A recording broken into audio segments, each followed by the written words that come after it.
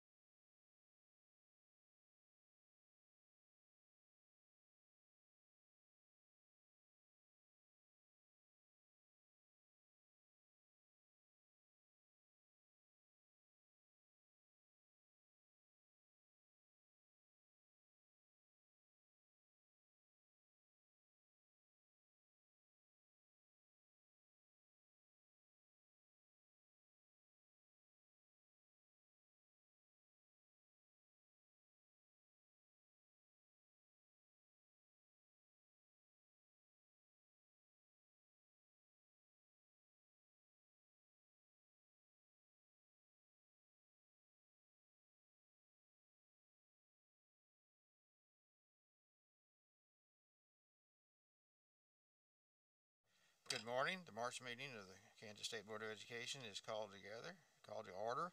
As is obvious, we're meeting in person today, uh, but we are being live streamed on YouTube so that the public may observe. I'd like to welcome everybody uh, that is following online, and for the first time in months, for the first time in months, I would also like to recognize, like to welcome those of you who are actually here in person, uh, uh, properly social distance. We thank you for being here today. I want to acknowledge that all board members are present. And the mission statement of the Kansas State Board of Education is the, is for the Kansas State Board of Education to prepare students for lifelong success through rigorous quality academic instruction, career training, and character development according to each student's gifts and talents. Our vision is for Kansas to lead the world in the success of each student. At this time, we will pause for a moment of silence.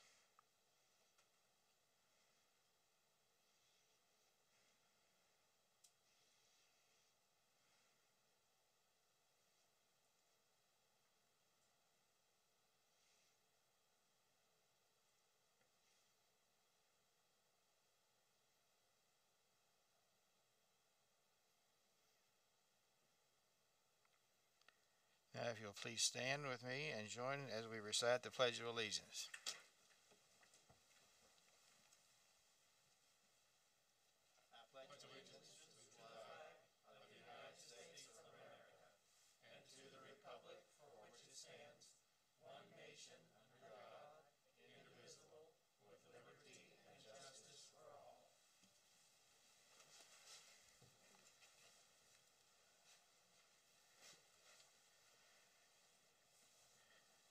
As we move to the agenda, item 16 on our agenda is the approval of a uh, charter application that has been uh, uh, rescinded. However, we'll leave that on the agenda and the reasons for that will be explained at that time.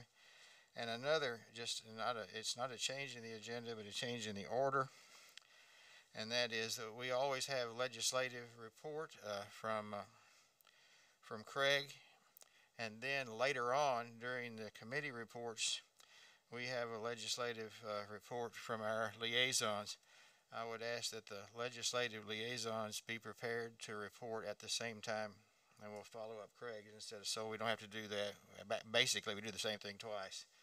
And so we can do that together. And from, this point on, uh, the legislative liaison will be part of the legislative report. If there are no additions to the uh, agenda, a motion would be in order to approve the agenda. Ben uh, and Deena. All in favor, please raise your hand. I see a 10 and 0. Thank you very much. There are two sets of minutes. Uh, the first one, uh, are there any corrections to the first one for February the 9th and 10th? If not, is there a motion to approve the minutes of February 9th and 10th? Ann makes that motion. Jean seconds that motion. All in favor, please raise your hand. That's a 10-0 vote. Thank you very much. There was also a special board meeting on February the twenty-second. Are there any corrections or additions to these minutes? If not, a motion would be in order to approve. Melanie makes that motion. Second. Deena seconds the motion. All in favor, please raise your hand. It looks like that's, uh, again, a 10-0 vote.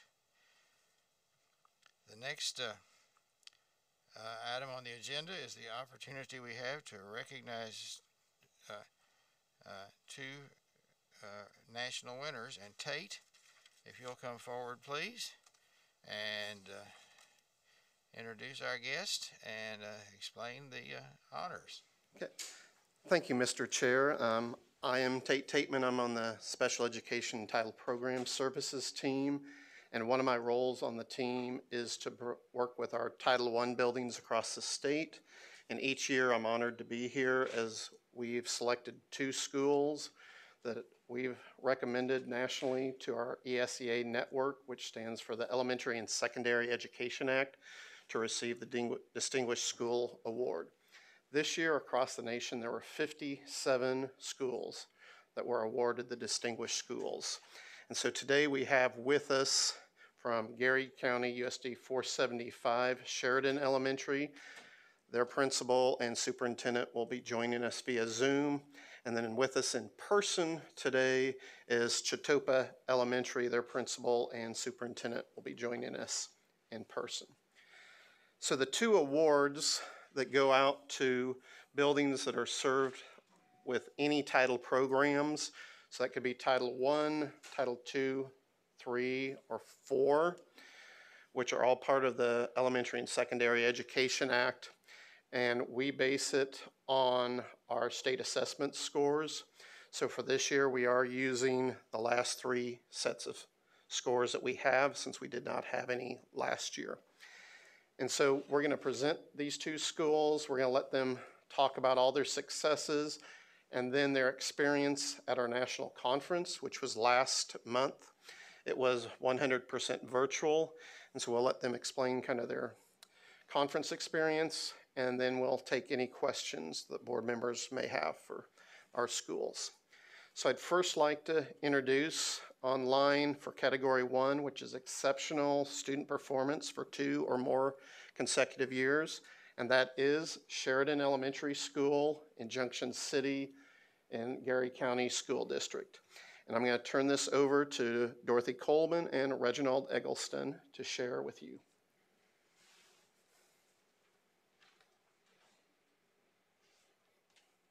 Well, first, let me say good morning to everyone and thank you so much uh, for this recognition. Uh, I want to say how proud I am of Sheridan Elementary and how much I appreciate the leadership uh, that Ms. Coleman provides, uh, the school as well as in the community. Sheridan is very well respected in our community. Uh, Ms. Coleman is well respected by principals across the district. Um, she does an outstanding job of advocating for young people and supporting her teachers. Um, here recently, I had an opportunity to sit in on a faculty meeting and just observe, and it's amazing uh, when you feel and see the energy that comes across uh, from the teachers as they demonstrate their passion for helping young people uh, go above and beyond. Uh, many, uh, many times, uh, many times it goes against what they even believe about themselves. And so I am just so honored and so humbled that we have been uh, offered this opportunity. Uh, and so I'm just going to turn it over to Ms. Coleman and let her have some words. But again, I just want to say how proud uh, the Board of Education here, as well as the entire district, is of Sheridan Elementary. And again, how much we appreciate the leadership of Ms. Coleman. Thank you, Dr. Eggleston, and just congratulations to Chetopa Elementary School as well for uh, their award. Thank you to the state board for allowing us to come today and share all the positive, hard work that our staff and students are engaged in each and every day. Um, the conference that we went to was, even though it was virtual, we gained so much from that. My entire team uh, was able to join. And since that time, we have infused um, different uh, sessions that we went to, we are infusing into our Wednesday after-school meetings and our building in-service meetings. Um, This school has always um, just shined in the areas of academics and behavior expectations. Uh, we support the five state board goal areas with our kids first mindset. And that's evident in our conversations um, in the building and across the district. Our culture is constantly nurtured and recognized in our weekly meetings, in teacher reflections. Um, once a month, we have um, whole staff meetings where our classified and certified staff get together and we do uh, PD. I shared um, one of the speakers, um, a huge speaker, um, Hill, Mr. Hill. Um, he uh, just was inspiring to all of us with as we enter into some conversations about equity and diversity. Uh, furthermore, when we implement the Safe and Civil Schools program, that helped us develop a framework um, that has also increased our academic and behavioral successes within the school. And we enjoy great support from our district administration and our local board of education. I think our success comes from the fact that we focus on what matters most. That's people and relationships, professional development, and instructional time. Uh, time is our most precious commodity, and we use it wisely and effectively. Um, meetings and requirements are always well organized, focused, agenda driven, and every teacher and student knows the expectations for each and every day that they're here. Our instructional coach has been instrumental in maintaining the culture and climate while we welcome new staff members each year. And it's just a great place to be. It's warm, it's welcoming, and um, we enjoy working with our community on many levels. So thank you again for allowing us to come today and to honor us with this um, award. And we just look forward to what's to come. I would like to say thank you to the State Board of Education and Dr. Watson for your leadership and support uh, throughout this pandemic. There have been so many changes and different um, just responses that have been needed, uh, but we do appreciate uh, all that you do in order to ensure that we are tooled and equipped uh, and ready to just to respond in the most appropriate way and that we can continue to serve our young people. So thank you uh, for your leadership as well. Thank you, Ms. Coleman and Dr. Eggleston. And our next school that we're honoring today is from second category, which Can we is stop just a closing. second? Okay. D- d- Any comments or questions uh, to the uh, uh, people from Sheridan Elementary? Betty?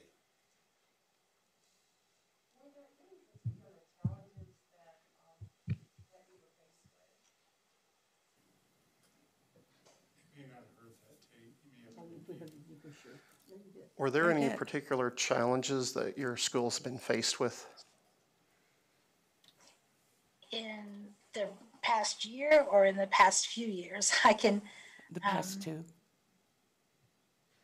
Well, I'll, I'll kind of give you a little bit of background about the district itself. With us having 52% of our students being associated with the military, we find ourselves having uh, some transition, whether it's with staff or with students on an annual basis. And I think a challenge is trying to keep a high level of academic emphasis, even when you have that level of movement when it comes to personnel and students. Our district averages anywhere between 89 to 119 new personnel on an annual basis. That impacts every schools, specifically Sheridan.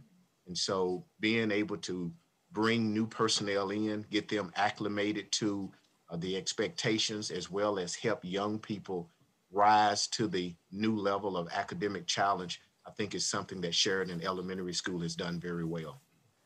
Another challenge I'll speak to is um, kindergarten readiness. One of the board goals, we are lucky this year to have our first early childhood classroom in our building. Uh, prior to that, we, we are, we're seeing some struggles with kin, uh, kids entering kindergarten, not really quite ready yet in some areas. And what I've watched this year in that early childhood classroom has just made my heart soar because I know that those kids are going to be more than ready as they enter kindergarten next year. So that's exciting to see and a challenge that we're meeting head on. So thank you for the question. Well, may I offer my congratulations? Thank you. And on behalf of my colleagues on the State Board of Education, we uh, want to congratulate you. I'm not, Mr. Porter, I just Thank wanted to you. say to the guests, Thank you. you have a Sheridan All-Star in the room, so I know how you like to recognize your, your hometown and your home schools, and so I wanted to say hi. It's a Sheridan All-Star. so. That's right. Thank you. anyway, I want, on behalf of the board, I want to thank you for the great job that you're doing.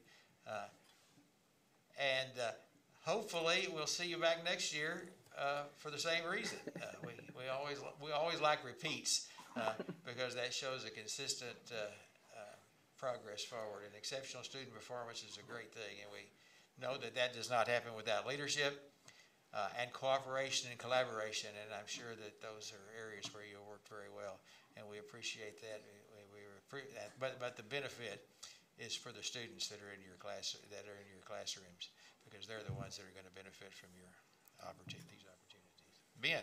Thank you. Uh, Thank you, Mr. Chair, and I'd like to echo uh, the chairman's comments uh, representing portions of Geary County. Uh, I have a lot of downtown Junction City. I share with Dr. Horst, who shares the base and the outskirts of the town.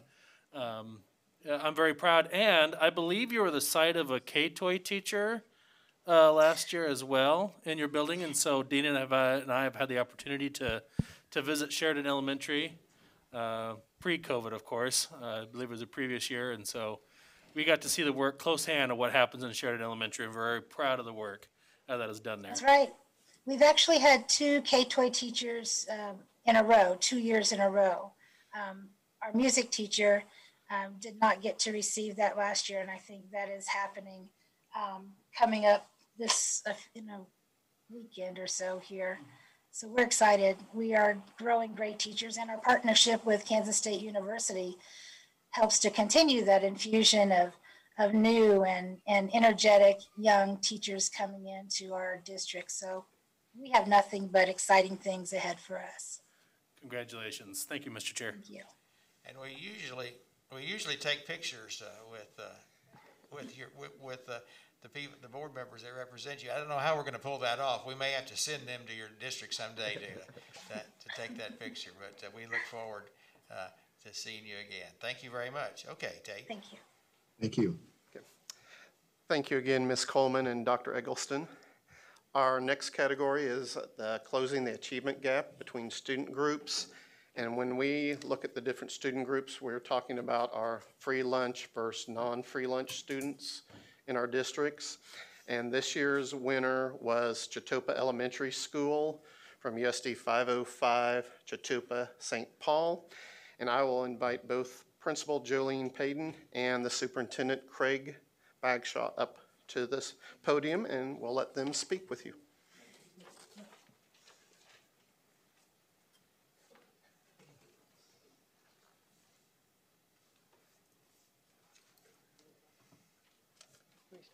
Well, I'll say something first. Obviously, I have a face for radio, like uh, I've heard others say, but this is live stream, so I'll have to get out of here.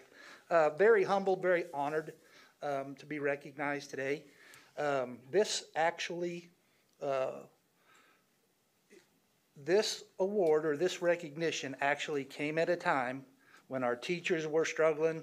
They were getting tired and tired and wearing thin, and you know what? What a great opportunity to uplift, uplift their spirits and to uh, to regenerate them. So, um, you know, it's it's amazing how impactful um, a little bit of recognition goes. So we do appreciate that and very honored to uh, to be here today. But this young lady, uh, Miss Midget, is really the catalyst uh, for that elementary school, and she's an amazing person. And uh, we brought her because she has a, a face for live live TV. Well, can I say something first? Sorry. I'm Jolene Payton, I'm the building principal, and I, um, I want to thank you for the, thank you for the award and the recognition and giving us the opportunity to come here today and letting us bring Miss Midget, Uh, she is our Title I coordinator, and she's the one that really uh, collaborates everybody and, and is the, is, is the force behind their success. Um, I tell people that Chetopa is a very well-kept secret because our elementary teachers and program are very, they're rock stars and they do what they can to meet the kids' needs. And Mrs. Midget is the, like I said, the force behind it. So we're gonna allow her to share with her, because this is her award and, and her elementary teacher's award. So we're gonna let her, uh, share some information about us. So thank you very much for the opportunity. Yes, thank you very much. This is a big deal for little Chetopa, Kansas. So we were very honored to receive this award. I have been the title teacher. This is my third year in Title I. And of course, we wouldn't be where we were if we didn't have the total support starting from admin to all the teachers and all the staff at Chetopa Elementary. So um, we, uh, before COVID, of course, tend the MTSS symposium every year. So that is very beneficial. We bring back a lot of knowledge to the staff to help with our MTSS program. We have very strong core reading program. We make sure during our Title I small groups that we are using evidence-based interventions. We have a great positive attitude from all of our staff. And I feel like the kids feel from that and they believe that, so they're very positive and want to be successful. We have a program we use to do benchmark testing. It's formerly known as DIBELS. We call it, it's Acadience reading now. And that's how we monitor our students. Students that aren't where they're supposed to be, we progress monitor them students to make sure they will become successful with reading. We formerly had a program, it was called the KRR program, Kansas Reading Roadmap. Unfortunately, we didn't get that this year. We weren't able to get the funds for that. So that made a huge impact. That program worked really well with our MTSS. So they were getting aligned, alignment with MTSS at school, after school, summer school, and then we even had a life program, and that was a family engagement time that worked really well to, for parents to help be supportive at home with their child's reading. So sadly, we don't have that. That was that also came along with a wonderful, strong coordinator that ran that program. And I mean, we, like I said, we're very close. We're a small school, so we're a very close knit um, family there that works together, always looking out for the best in every student. We're able to collaborate a lot, um, share ideas. We have, let's see, say close to 70, is it? 70 from kindergarten through fifth. So a lot of our students are very one-on-one, getting that direct instruction that they need. So again, thank you very much for recognizing our school for this award. We also wanted to share that we appreciate the opportunity for, to go to the convention, that we were able to send, um, myself and Mrs. Midget, and we had three other teachers that went, gave us an opportunity to see how we're doing with the things we have implemented, and, uh, also afforded us ideas, uh, to expand, you know, to try other things. And it was really neat, nice to visit with other people from other schools around the nation to see what they're doing and how things are going, and realize that we're pretty fortunate because we are small, you know. Uh, remote learning was a little bit of a challenge, especially for elementary, and uh, we didn't have to do a lot of that, so we were pretty fortunate for that. Um, gave us some ideas. We also kind of we want to try to model that those since we didn't get the KRR funds, we wanted to be able to model some of those uh, uh, interventions that we had with the after-school program, the summer school program, and hopefully we can kind of use those ESSER funds to try to try to model that and because we do feel like that that was a big benefit for our kids and really helped us close the gap for our uh, kids. Uh, is there anything else we were going to try to mention? Again, we really appreciate the opportunity and the recognition, and uh, it was a, a great thing for Chetopa. Got us on the map. That was our goal. And one big advantage I do want to say about the conference we went to, it's very nice that the videos are uploaded for a year. Oh, yeah. So it's a nice start to go back and Yeah. refer back to those too, so that was very nice. And we look forward to maybe we can go in person next time. Yes. I think that would be very beneficial. So, do you all have any questions for us? or- questions? We were pretty thorough then. All right. Good job, Mrs. Midget. See, We she's a want to- rock star. We want to thank you and congratulate you. That, closing that gap, that's, uh, that's a tremendous, uh, effort, and we appreciate you doing that. Uh, And congr- on behalf of all of us, we congratulate you for doing that, but of course, I'm proud of you because you're in my district, so. Yeah, yeah. I, as, as I said before, we typically have pictures, but, and we will, but that'll be up to you. Because, you know, the social, with the social distancing, we can take pictures with the Right. commissioner and the, uh, and your board member, which is me. Uh, or we can, I can snag the commissioner and whenever this is all over, I can, we can come there. And so whichever you, Craig, whatever you prefer. We'd love to see you. Okay, well, we'll try to do that some other time then. Okay, sounds great. for- for- uh, uh, out Thank of you. an abundance of caution. Yeah. But thank you so much for being here and, and congratulate to you, congratulate your staff, and congratulate your students. Thank you very much. Thank you. Thank you. And, and make sure that uh, Craig knows there is semester funds and more coming to, uh, to do that summer and, and that outreach. So hopefully, uh, that, that can sustain you at least for a few more years in that program. And along with that note, I'd also like to share a surprise announcement for both of our districts that our title programs and services team had made a decision a couple months ago and wanted to wait till today to announce it. And I thought, Jolene, you're going to steal the thunder at that point. But um, we have set aside funds for both Sheridan Elementary and Chetopa to actually go in person for the networking experience and the conference next February, if it is in person. So congratulations and thank you very much. Oh my gosh, thank you so much. Any questions? Any questions of Tate? Thank you very much. Uh, We're looking forward to, uh, having other winners next year. Yep, thank you. Thank you so much. I now declare the Citizens Open Forum of the Kansas State Board of Education meeting open at ten twenty-five. The State Board provides this opportunity for citizens to share views about topics of interest or issues currently being considered by the State Board. The State Board asks that speakers identify themselves by name and the name of the group they represent, if applicable. The State Board also asks that each speaker focus on the remarks uh, on issues or topics. Personal attacks will not be tolerated. Each speaker will be limited to three minutes. Any board questions will be for clarification only. I have none. However, uh, this is scheduled for ten thirty, and so to be, and it's not ten thirty yet. Uh, and so to make sure that we allow the public to, to participate, we'll take a five-minute break before I close the citizen open forum.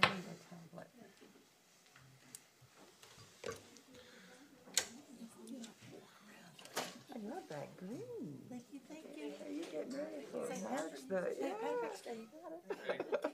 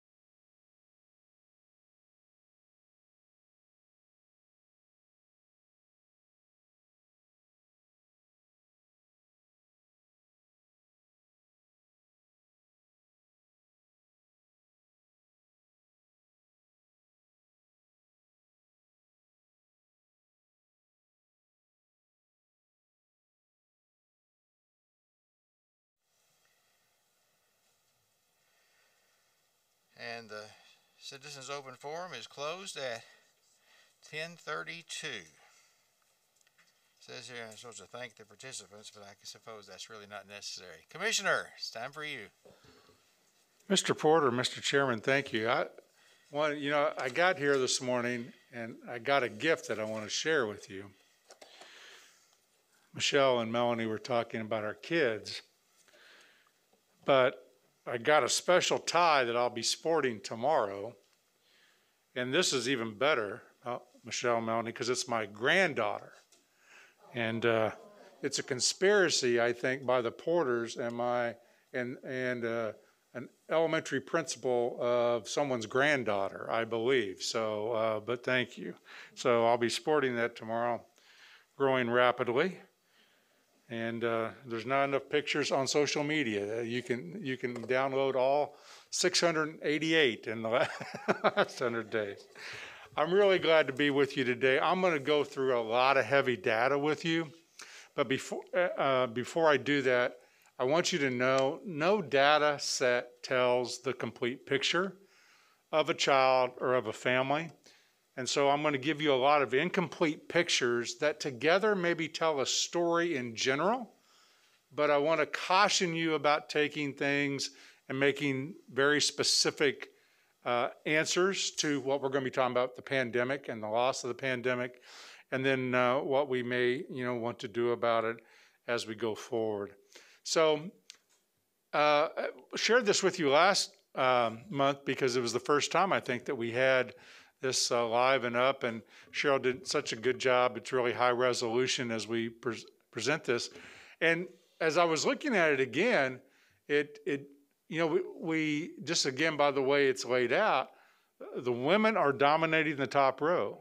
Dr. Horst, you can see that, uh, and we we only allow the guys on on the bottom row there, but a good good looking group, and I think a lot of people um, in the public maybe don't don't understand if you look at Jean's in, in District 5, but certainly true even of Betty's in District 8, how many voters and patrons that you represent. It's an extremely large number, even if you're in a small demo, uh, geographic area or a large geographic area. And I know you take your work extremely serious.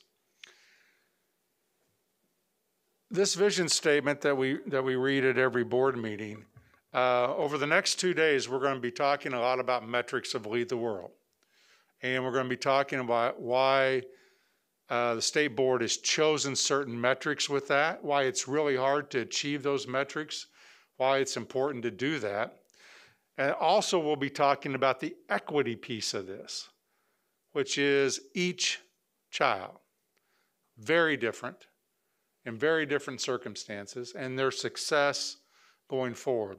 And so, whenever you're at, my mom used to, it was really irritating. Um, many of you know, had this had this great single mom growing up, and one of the things she loved was bridge club. And so all the ladies would come over and cause havoc if you're a young boy, you know, in middle school or you know uh, about bridge club. But well, what was you know instructive about that is I often think if you're at you know if you're at a family reunion or you're at a Kiwanis club or you're at Bridge Club, ask people what are we what's the goal of what we're trying to do in education. We'll be talking about that a lot tomorrow. What you know what do we want at the end of the day? What do we want? You know for kids and families, and that's really what drives our our work forward. Uh, we're going to get in the weeds a lot today on a couple of measures of social, emotional, and academic, but they're just kind of temporary stop points. You know, I, I think all of you, you know, look at, at your at your own families and you think, okay, every step along the way, every journey along the way, it just presents different challenges. You know, for me, right now, as, as this tie represents. It's kind of fun to watch my daughter of 34 years become a mother. And all of a sudden, her mother's a lot smarter, as you know, and, uh, you know, leans on her a lot. And uh, it's even fun to watch her younger brother kind of take the role of uncle. And it's a, that's a different than when they were six or 10 or 12. And so it's, it's a constant journey of adaptation and looking at strengths and then, and then you know, continuing to, to evolve into that work. Before we get to that, you probably know that over the weekend, the Senate passed the ESSER 3 bill. It goes back to the House because it's not the same bill that came from the House. Those of you that know your civics know that.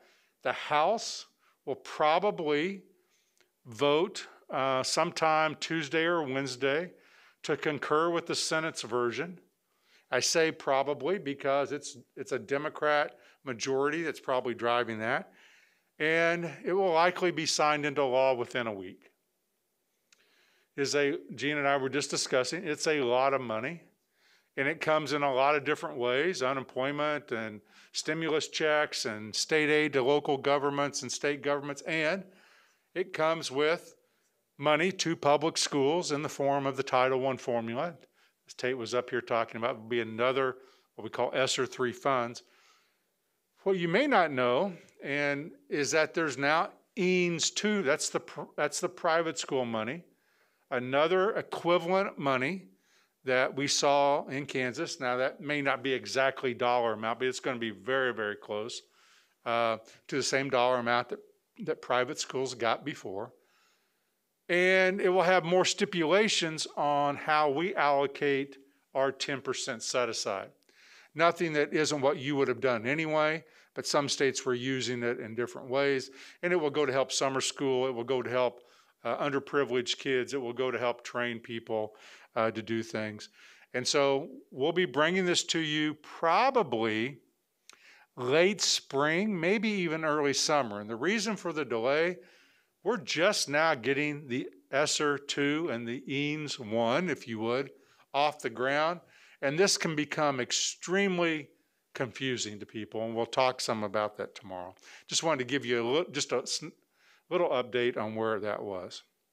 Now, let's take a look at nationwide what we're seeing, and then I'm going to tell, get weave into this what we see statewide. Again, I want to caution you because when we get to the state data, our data sets are going to be small. I mean, relative to the national, and a little bit inconsistent because not everyone takes the same assessment. This is DIBELS. You heard Chetopa talk about DIBELS.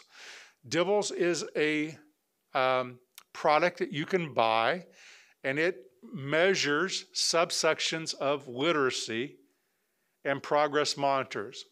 What you're seeing on the chart is the early grades, kindergarten to grade five, nationally. On the left is the number of kids a year ago that needed intensive help that closing the gap that Chetopa talked about. And the right, the darker graph, is where it was at this past year. And you can see nationally that the younger grades really exploded with the gap. Meaning, if you look at kindergarten, 28% of kids a year ago needed intense help. Nationwide, it's now 47. Here's the caution. Who's been out of school the longest in the United States. Secondary schools and urban schools, right? Large urban centers. So that'll be true when we get to Kansas. What's different about Kansas than maybe some other states is that we don't have very many urban centers relative to how much rural that we have. So uh, that's what that's why I'm cautioning you as you look at this to know that Kansas may not look exactly like the national because our demographics are slightly different outside of the Kansas City area, the Topeka area, the Wichita, and to some extent Liberal Garden and Dodge City. But it's instructive for us to look at this. Here's another nationwide assessment of reading by a company that you probably, when you visit schools, you might hear them use the word FastBridge. It's, it's a cousin. Boy, the companies wouldn't like me saying that because they're, they're competitive companies. But it's a similar product to DIBELS. it measures reading at a very progress monitoring way. In fact, if you talk to the dyslexia people, they'll use either DIBELS or FastBridge or other models. Now, this data tells you something a little different. So what FastBridge did was they took the average from 2016 to 2019 of reading gains in kindergarten. And that's the left bar. And then they compared that average to what happened during the pandemic year of last year. And you can see that reading gains were not nearly as good nationwide as they were pre pandemic. Now, These are maybe duh moments, but I think it's instructive to really look at what does what's the data tell us. And so you can see that that's a different assessment showing very similar things. And when you delve into where was that reading loss, you can see the darker bar is the summer loss we saw. This is nationwide. The lighter bar then is the pandemic loss. So phoneme segmentation, these are all very technical terms around the reading process of reading and the science of reading.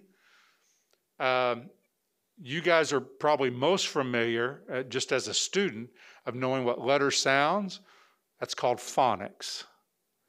But phoneme segmentation are things that we did when you're doing nursery rhymes and you're rhyming to alliteration and those type of things, and you're breaking apart those segments of the sounds. That was the biggest loss in those early grades, uh, both phonics and phoneme segmentation.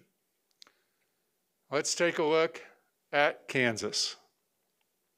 We're going to take a look at some data sets in Kansas. This first data set you see is by a company called Renaissance Reading. So again, school district, you can see 20, almost 26,000 Kansas students were, took this assessment. That's a fairly small number because that's multiple grades. But I'm going to start on the right side. 2019, nationwide, 52% of kids were at or above what Renaissance compare, says is the benchmark. Now, I want to clarify what Renaissance Learning says is the benchmark may be lower or higher than when Kansas sets the benchmark for being at that level and that ready. They would say 16% of the kids a year ago nationwide, you need to kind of watch them because they're kind of going in between. And then if you combine the, the lowest two, you would see that 32% were in some form of need. Nationwide, that dropped 1%. Kansas dropped 3% of the 26,000 kids that took that exam. But you'll notice that Kansas started higher than the nationwide average. And again, I want to caution you because when you're looking at multiple grade levels, 26,000 students, which sounds like a lot, is less than we have in one grade level in Kansas. We run about 40,000 kids in the younger grades, public and private. But this is a, a, an assessment that some school districts use, and you can see that there was some literacy loss. Here's FastBridge, which has more students in Kansas taking this, approximately 10 to 12,000 per grade level, which would be somewhere around a third to a fourth. So, and what do you see? The left, the darker bar is last year, those students that needed intensive help. The lighter color bar is this year. And you can see in literacy, grade one and grade two were hardest hit in Kansas on this assessment in the schools that gave this assessment. The reason I always say caution, because Betty, I don't know that, that Wichita would use that, and then that would skew your statewide data, right? Either way. That's, that's why it's important to know this is a voluntary assessment through our MTSS, but it's about 10 to 12,000 kids a grade. So it's a larger data set than what we saw with Renaissance, but you're seeing similar trends. The younger grades in literacy looked like they lost the most during the pandemic time. Appears that. Now let's look at math. Now we're going back to nationwide scores, all right, as we look at math. Let me come back. Let me just pause here, Mr. Chairman, before we go to math and see if there's any questions around literacy and what we see. And as, and as you're thinking about questions, let me just say this. Generally, what we see in literacy, the younger you are, the more loss there was. These are generalizations. Special ed students tended to have a larger subset loss than non special ed students. And the data picture is incomplete primarily because Kansas City, Kansas has not been in school, and it's a large school district, and their assessment data is not as robust as it would have been had they been in school. That's why there's all these cautions when you look at this. But I think you, there's some generalizations that maybe people have questions about, Mr. Chairman. Okay, Betty. Okay, now that is aggregate data for Kansas. Yes, that is cor- by grade level aggregate Right. data, yes. Okay, so, um, if a, if a district was trying to, um, decide what level of program to, to, uh, make up for the loss, they would also have that information, is that correct? Yes, and they Okay. would have it in a much greater Much- detail than on what I'm sharing with you Okay, today. okay, thank you. Yes, you're welcome. Michelle. Thank you, Mr. Chairman. Uh, So, Dr. Watson, are, are, are we uh, on the test? Are those on like in a monitored, or what, all survey test, whatever you're looking at there, are those on a monitored, in, in a school setting? Were those done in, in a school setting, or were those done like online? Were, were the older students able to do, if they weren't in school and tested on these things, were they able to do that at home? The answer is it's a combination, Michelle. It was done in school where possible. And if the company, in this case FastBridge, or allowed it, some of those were done in somewhat of a monitored at-home situation. Okay. So it was both. And so again, you have to draw caveats Yeah, to that. It could, so it could be a manip- manipulative if it's done It- for the older yes, it students could. that have, have means to have, look things up. and- That's, that's correct. Yeah, That's but why, I- again, you have to be cautious about this data because, because we're in all type of different environments. You're absolutely correct. Thank you. Jean. I- I'm just curious, is this the kind of loss that can be made up through extended school year or summer programs? Or is this a loss that's going to follow some of these students for several years or more? Great question. And the real truth is, Jean, we don't know. What we believe, all right, is that because we're seeing it greatest in younger students, that if you look at the money that's being infused, and that money will be good through 23 and ESSER 3 through 24, we're in 21, so three years, that we can make up that gap. Special ed will be more difficult because of the cognitive disabilities, but we're hopeful that with multiple summer schools, multiple extended year, tutoring services, that we can make this up over time. But we're going to have to watch, we're going to have to monitor this, and you'll get a good sense of this by the summer of 22 if we're starting to narrow that gap, Jean. It may rebound quickly. You know, again, we just we don't know because we've never been through this type of loss. We've been through summer loss before, but not but not this type of loss. That's all the questions we have. right? All right, so let's go to math. We're going to start nationally. Again, this is FastBridge measuring mathematics K through 8. The left bar was the growth that you normally would see in a school year on average, and the right bar, the darker bar, represents the growth this year. What do you see? This is nationwide. In mathematics, you see that the middle and older students are tending to struggle more in mathematics than in literacy. So it's kind of an inverse. But you're also seeing nationwide that there's greater loss in mathematics on this assessment than there is in literacy. Just one example nationwide. Let's look at Kansas. Now, this data set gets really small. You see the data set on Kansas 14,000, just under 14,000 students, multiple grades.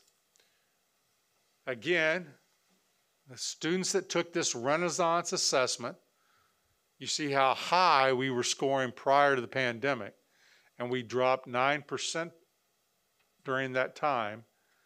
Uh, most of the, again, still above that national average, but the data set is really small with Renaissance learning. When you're uh, 14,000 kids is, is really small, but there was a significant drop in mathematics as measured on this exam in Kansas. Here's FastBridge Company. Same look that you saw in literacy. On the left side are those that need intensive assistance in past years, and the lighter colored bar are those that need assistance this year. Now, unlike the national data, the mathematics data tends to trend like the literacy. The younger grades look like they need more assistance than the older, even though that's probably not true in grade seven. And this data set, again, has 10 to 12,000 students in each grade in this data set. So we are seeing learning loss in mathematics. What is interesting is if you look at the last decade, the science of literacy and the science of reading is pretty well come together from all researchers. Mathematics is not that tight at the younger grades. I mean, if you look at the science of how to teach mathematics, programming for mathematics, it's not nearly as validated with research at that, those grade levels as reading is. Which, when we get to interventions, that's what's going to be one of the challenges, you know, as, as we look at what's the best way to accelerate this learning for the young kids. And then I'm going to share both. This gets complicated. You see, our numbers are about 10,000, but start in grade three. These are our free state interim assessments. Anyone can give them. A year ago, Janet, KCK gave them to every student in their school. That wasn't true this year. Last year, Betty, Wichita didn't give these at all. This year, they gave them a lot. So, again, about 10,000 kids per grade. And I want you to look at winter 20 to winter of 21. That's, that's what happened between last winter and this winter. And you can see on the interim assessments in literacy that there was a drop, sometimes slight, in grade five, it was somewhat significant. And in math, winter to winter, you see a greater drop, but a consistent drop across those, sometimes not as much as you see in grade three or grade eight, but in other grades, you see a more significant drop. Again, we'd love to have 40,000 kids in this data set, and I could tell you it's really solid but it's not because it's voluntary, free data. I'm going to, I told staff yesterday in a staff meeting, I said, in the next two days, I am elevating my soapbox on a lot of things, all right? It's time for all of us, myself and you, to get serious about what we have to give guidance to schools on. I mean, really, really, not that you haven't, but really get tight on that. This is a free exam. It costs school districts nothing. They can give it four times a year, and it gives predictive value to our own state assessments, which by standards and cut scores are the highest standards and cut scores in the nation. Can, all right? This gives that predictive value to that. And we're gonna make those even better from a reporting standpoint for school districts. So school districts can spend money on all the others, and, and that's great in the early, and they can continue to do that. This is free to them, paid for by you. State Board of Ed writes the contract to KU to provide this service in reading and mathematics. We're going to soon have it. We'd like to have it at some point in science, but we're going to get better at this over time. So that's one of the things. When people say we can't afford whatever, this is free. Now, it only starts at grade three, but from three to grade 10, they have four times a year free assessments. Teachers have the standards informative assessments free to them that they can give at any time during the year.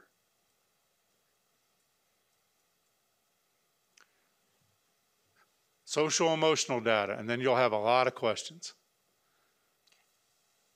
We have a question. Okay, all right, let me back up. Okay, sure. Betty, When you were showing the, the information, it did not make a distinction between remote and in-person. It was just, no, It's, it's both, Betty. it's both. Yes, It's- it it's was combined. able, you were able to give this remotely. Uh, Kansas City, Kansas decided not to do that, and they had been doing it. But some districts did, and some districts did it in person. And as Michelle said, be cautious, because you could have had some kids that, you know, manipulated that data. It's one of the challenges in this environment that we've been in. So will we have, um, oh, I, I know that this is just kind of an indicator, but moving forward, as we start looking for ways to mitigate the loss, will we, what's in place to actually get more definitive data for decisions? Excellent question, almost like I planted it with you. You did. In April? I, wrote- I read it. State assessments will be given to every student in school. They must come to school to take it even if they're remote or hybrid. That data will be compared back to 19, right? Because we missed 20. And that data set will be the most complete data set we will have going into the summer. We'll have those results in May, by the way. We'll have them before we get to summer. And that'll either validate this data or show us different that we can then start to use even as early as the summer to start to make improvements. So, uh, just one follow-up. Um, So when we start looking at, at models to recommend, there's actually nothing that could be done until we get that data, is that correct? I don't know that nothing can be done. I think school districts are already looking at their own data that I'm sharing with you. And in a, in a district, you might have everyone taking one of these exams, and that would tell you great things. When we look at it as an aggregate across the state, Betty, you just have to be careful because not every student in the state of Kansas is taking it. But if in Great Bend, every student is taking FastBridge or DIBELS, then you would have a great data set to already start to use. be used. Thank you. thank you. Melanie, Thank you, Mr. Chair. Um, I want to point out that in the English language arts category, there is a year-over-year increase, increase for grades six and ten. Am I reading that correctly? Yes. Okay, so knowing that there are significant differences in, in how these kids test remotely or in person, unproctored, um, and I'm kind of jumping ahead here because you, you did too.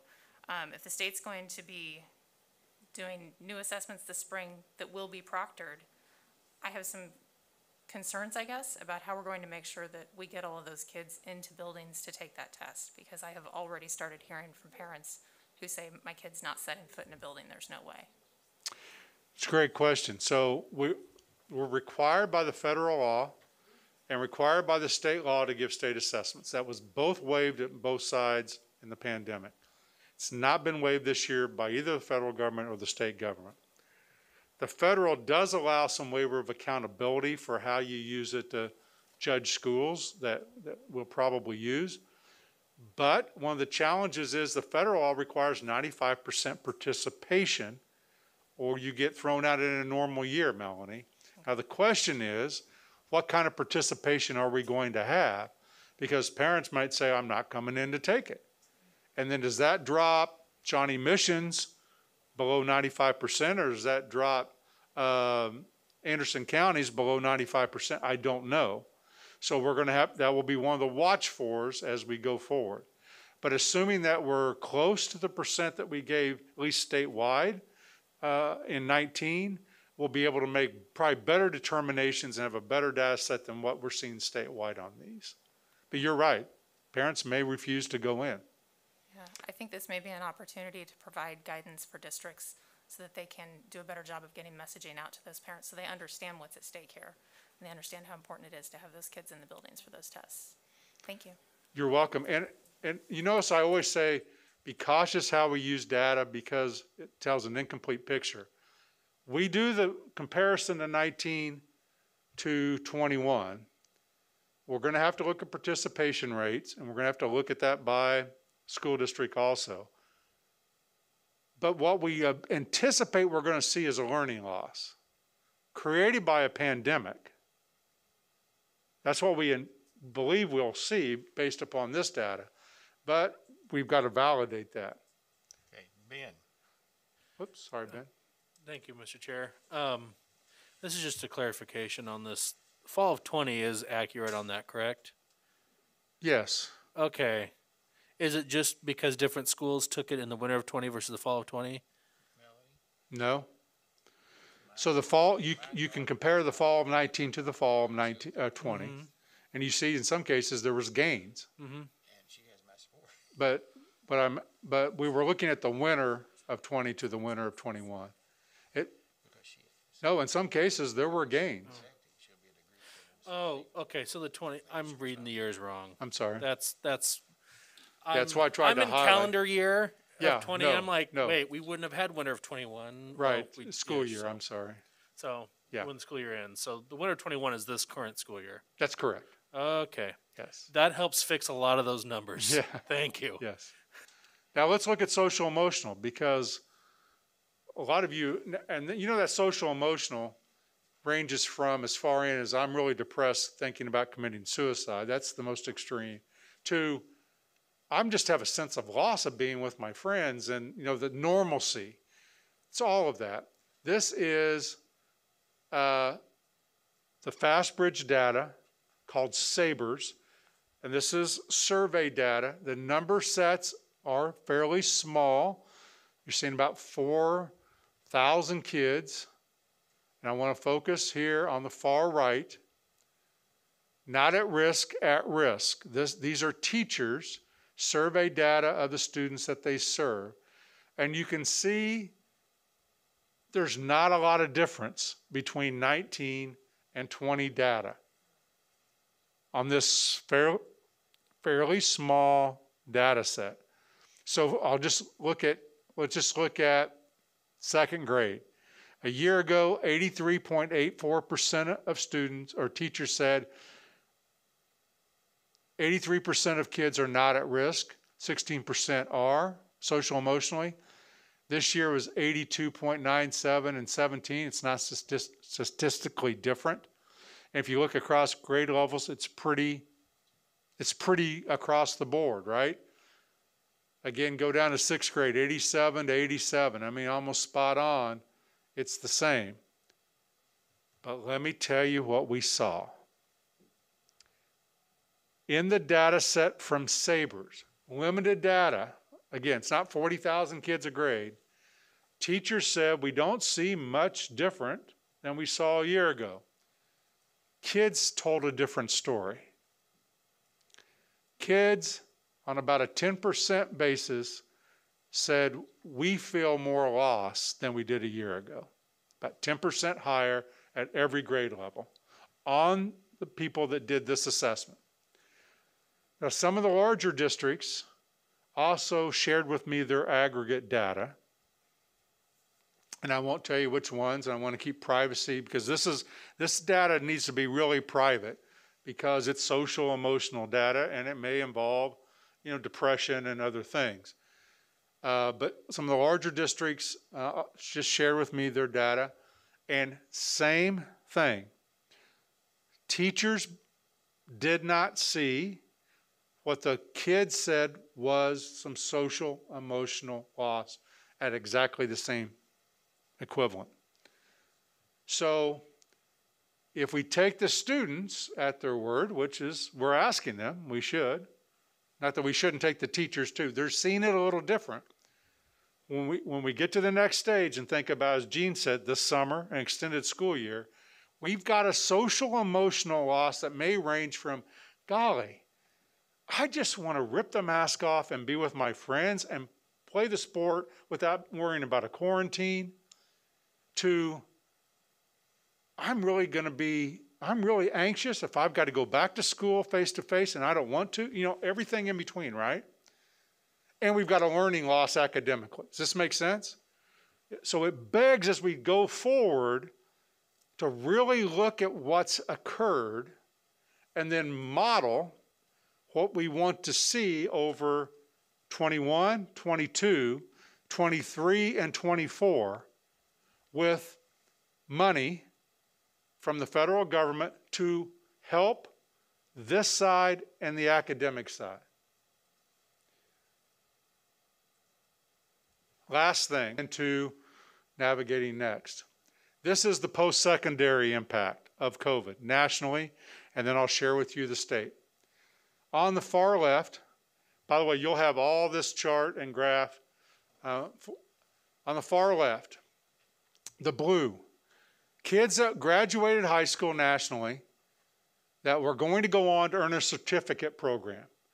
Jean, they were going to go to the John Deere program that you and I have talked about.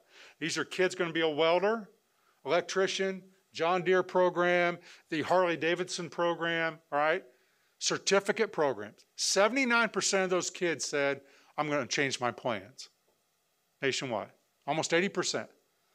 54% of them canceled going. This is nationwide. More than half didn't go. And 26% went, but maybe in a remote environment. Now, watch what happens. If I said I was going to go to Cowley County or Colby Community College, I want, want you to focus first on the yellow bar. 54% of kids going to certificate program nationwide said we didn't go. That dropped to 10% for associate. I mean, if I was going for associate, 44% of those kids said, I'm not going. This is nationwide. Baccalaureate, look how it drops. This is instructive because we're seeing a gap from those going on to four year college and those going on certificate and associate degrees, and it's stark. Meaning, those going on to college nationwide, only 25% of those kids delayed going or didn't go. But over half of the kids going to a certificate program didn't go. And then finally, graduate programs were somewhat in between. Now, this is nationwide data. Let's look at income. If, I, if the family made less than $50,000 a year, again, I want you to focus on the, the yellow. In the low to mid 40s, those kids did not go on to whatever plans they had. So, so now we're combining all the plans by income nationwide. Does that make sense? If I made under my household made under 50,000, 42 to 46% of those kids did not go to certificate. They didn't go to community college. They didn't go to college. If I made between 50 and 100,000, that number dropped into the upper 30s, meaning they tended to go on a little bit more than the kids that came from families making 50. If my family made over $100,000, I went. Look at that. Look how stark that is by income. Starts at 30%. If I made 150 or more, I'm down to 25%. If my family made over 200,000, I'm down below 20% of not going to where I said I was going to go. Compare that to making 50,000, which was at 40% nationwide. We have to look at the Kansas data, which I'm going to share with you, but this is the class of 20. This is so as we think about the class of 21, this is what worries us. Because Jean, you mentioned earlier, can we make this loss up and what's the time? Well, these kids come back? I don't know that question, that answer. Right? We know generally, you know what happens? kids say, I'm just going to take a year off. They rarely come back.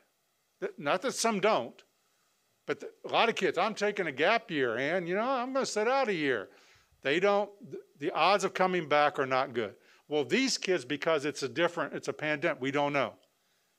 But we can't let the class of 21 show the same thing because this is disproportionately, at least nationwide, impacting certificate, associate, and poverty. Mr. Porter? Question for Michelle.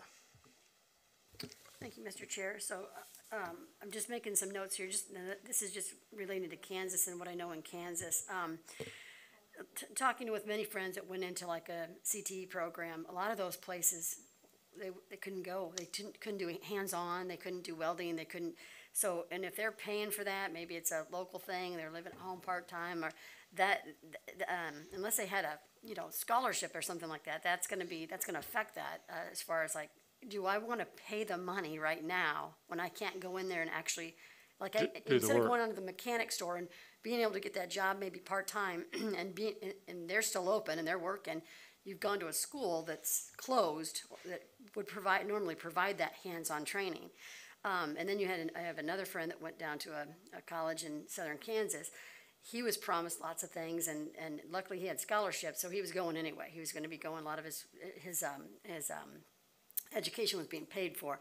So he's thinking he's gonna be doing, the labs were pulled. They didn't, they weren't able to go into an actual lab. Um, so I'm thinking, some of these people are thinking, well, I mean, you know, if I'm paying for this, I'm not, I'm not going to be paying. So I think they will probably come back as long as they can get on track and get back in these classrooms and actually do hands-on lab work and things like that, and not just look at videos. And a lot of those kids, it, it doesn't work for some of those, some of those degrees they're going into. So I guess I, that, again, it's, it's, it, it, it's skewed based on talking to different people and why they've maybe pulled back a little bit. It could be the money, it could be that they just aren't getting the hands-on experience that they were promised, or that that place is closed down, or it- because it's related to a school in Kansas, it's shut down. Um, I think that they, if, maybe if they had gone to, just gone to a job and part-time and had that experience at the local mechanic or wherever it is, they would be able, they would have more, the interest level would be higher than now they gotta sit home and just watch a video and it's, it's, it's like culinary, it's like all the things, my child was in woods class, you know. Right. It's the same kind of thing, I mean, he's able to do some of the things when they were in classroom, but sanding and basically staining at home, that was it, and what, and the rest of it was video. So it's a, it, we'll have to just kind of go back and remeasure again, we're gonna have to talk to these kids.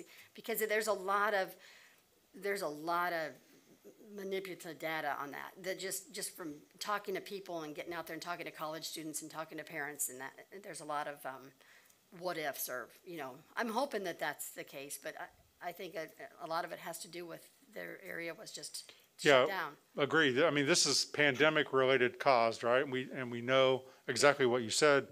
There's reasons why they did what they did, but when we look nationwide, it's interesting when you look at it demographically between, you know, the, the certificates to associate or income level, who decided to go and then who said, well, this isn't worth it because I want a tech school and I'm not gonna get a tech school environment, because a lot of those were shut down.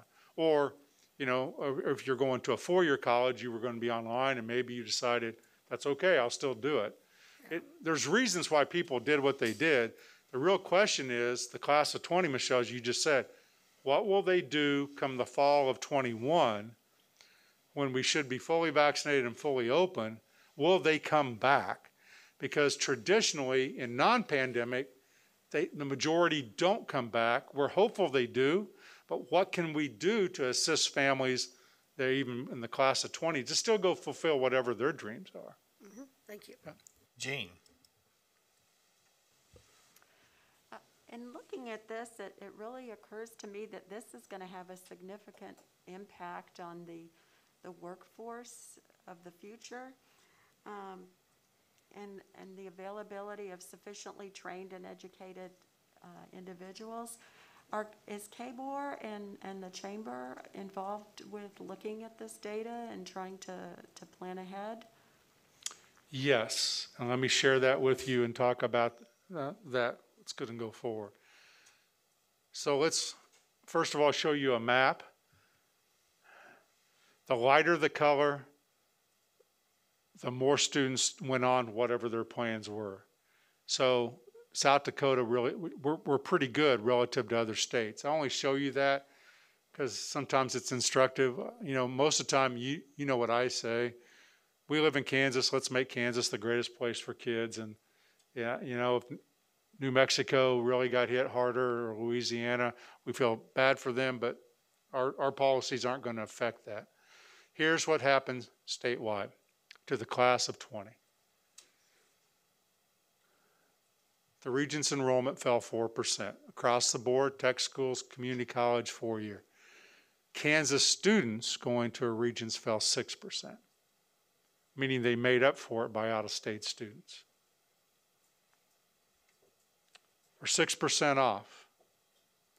Community college, technical college, four year colleges in Kansas. These are Kansas students staying in state at Pittsburg, Emporia, Washburn Tech, uh, Northwest uh, Technical College.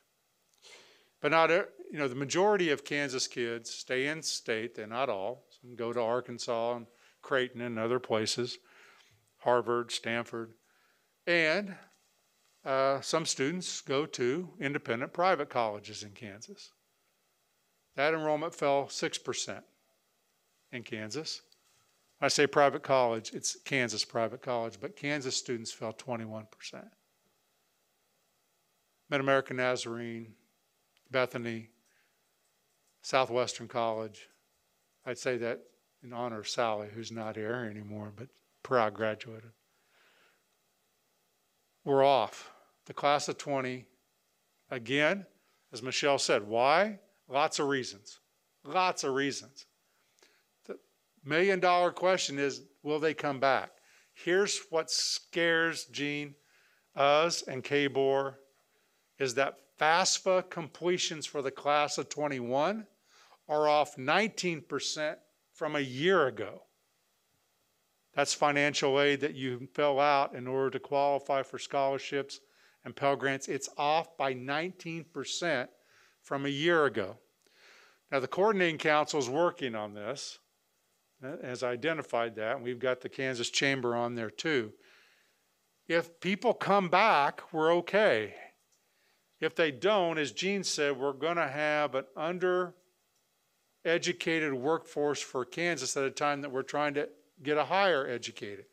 It's an unknown. I don't want to panic you. It's just we're painting the picture for what we have to do coming out of the pandemic. And and thus, as we go forward here, it's navigating next, which you've adopted. And all of these are important, vaccinating your staff, but we've got to take a look at the class of 21. We have a little competition that we joined with KBOR called Is Your High School going to be number one in having percent of families fill out the FAFSA? And in June, we're going to give those awards. You know, just kind of a friendly competition, trying to encourage every high school go capture the class of 21 and help families make this transition to whatever they want to do. Because it appears, how many times have I said this today? It appears that we'll have fully vaccinated population by the summer, if not sooner, which you saw the CDC guidelines about opening already. The fall of 21 is looking very promising. And we've got to think about recovery. And for the class of 21, we don't have two, three, four years as we work with them. So when you look at this document, it lays out for school districts what we need to do now for the class of 21, what we need to do looking back to the class of 20 and pulling them in. There's money right? There's money. We've got, bring in extra people, bring in your community, invite them back in. What are we going to do this summer? Kids should be in engaging, fun, enriching social environment with good learning. We should be really pushing for extended school year. And last week, I went ballistic on Brad because we had a school district call. They were in some meetings and they said to the people trying to help them about coming up, We don't have any money. We do. And we have an opportunity, this board has an opportunity, local boards, every school district, we're tired, right? Everyone's tired of the pandemic. Everyone's irritated. But we have an opportunity over the next several months to years to make an impact that you've always dreamed about making in every community. And we need to take advantage of that. And we need to push hard and look at the data and what the data tells us. We, this document lays out the guidelines to do that. Every local community can custom and do that well. But G and I have had conversations about year-round school. Not a bad conversation to have locally. There's money to do that. I'm talking full pay of people. People are tired. I understand that. Parents are tired. Kids are tired. But we have an opportunity, Mr. Chairman. And uh, we should we should do everything we can to try to take advantage of that over the next two to three years, including the next two or three months. With that, I'd stand for questions. And uh, we're going to talk about it a lot more tomorrow, but I want to reinforce something that Randy said. There is a lot of money out there that can be spent helping kids catch up. Hearing the excuse, we don't have the money, is simply not valid. And we need to figure out some way to make sure that we hold the feet to the fire. Uh, because they have, the money is there if it's spent properly, and the task force is there to make sure that it is spent properly. Uh, and we really need to push for those things. If we need to be aggressive to the point of being obnoxious, that's okay. Betty? Thank you. Do we um, have any information that would show fluctuation in whether students, those students that uh, are not on track, I- I don't know if that's grown any uh, to graduate? You're talking about the, the graduating class. We don't have any data. Our data on graduation is always in arrears at our level, meaning you won't know about the class of 21 until we get to the fall of this fall, and then you'll know. We've been increasing graduation rates. We've been increasing the number of kids going on to post-secondary. But it looks like, you know, in the class of 20 and 21, we're going to have some challenges, Betty. Um, but we, we've been making strides there. Now, will we hit a wall? I, I- think, I think the, you know, many of our Kansas schools have been in, in person most of the time this year. I think they're going to be fine. But our larger systems have been remote, hybrid, or some combination. And I think the challenge will be as we, most of them are coming back sometime in March, is we got to make sure the class of 21 is our first focus because they're going to be out the door in what, two and a half months? They're going to be gone. And so that's going to be a, that, that, when we talk to local, you know, Deena, when you're back, Salina's going to have to address that, right? Are, are we on track to graduate? Because the anecdotal, Michelle and I can talk and say, hey, some kids are and some kids aren't. But we're going to have to address that first. And then we're, are they ready for their plans? Are, are they signed up for the military? Are they ready to go to Allen County, wherever they want to go? That's, that's again, us talking to local boards and local people about making, making sure that the class of 21 is, is on our forefront, um, taken care of. Ben? Thank you, Mr. Chair. Um, I have three questions, but one of them will probably be answered tomorrow. Um, my first one is the EANS two money. Is that going to be dispersed the same way ESSER was, two was, or is it ESSER one? No, ESSER one went, flowed through title. Yeah. EANS two will be distributed just like E- this EANS round is. Competitive, have to apply. And no direct money, but services only. Correct, well, they, right, no, no money to them, they can buy product, but that come, uh, is owned by the state and services and, So the EANS two is set up like the December yes, EANS money. yes. Okay, you know my feelings on that. Um, um, on that front, the other question, and, and I don't want you to answer it today because we're going to talk about it in depth tomorrow. But uh, what is the priority? And this might be a question for the chairman tomorrow. And I know you guys are going to get into it. Is the focus of the ESSER money? Are we prioritizing expenditures based on the learning losses, the math, the English, or the reading scores toward those programming. And again, we're talking about that tomorrow on agenda, so Yep. that can wait till tomorrow.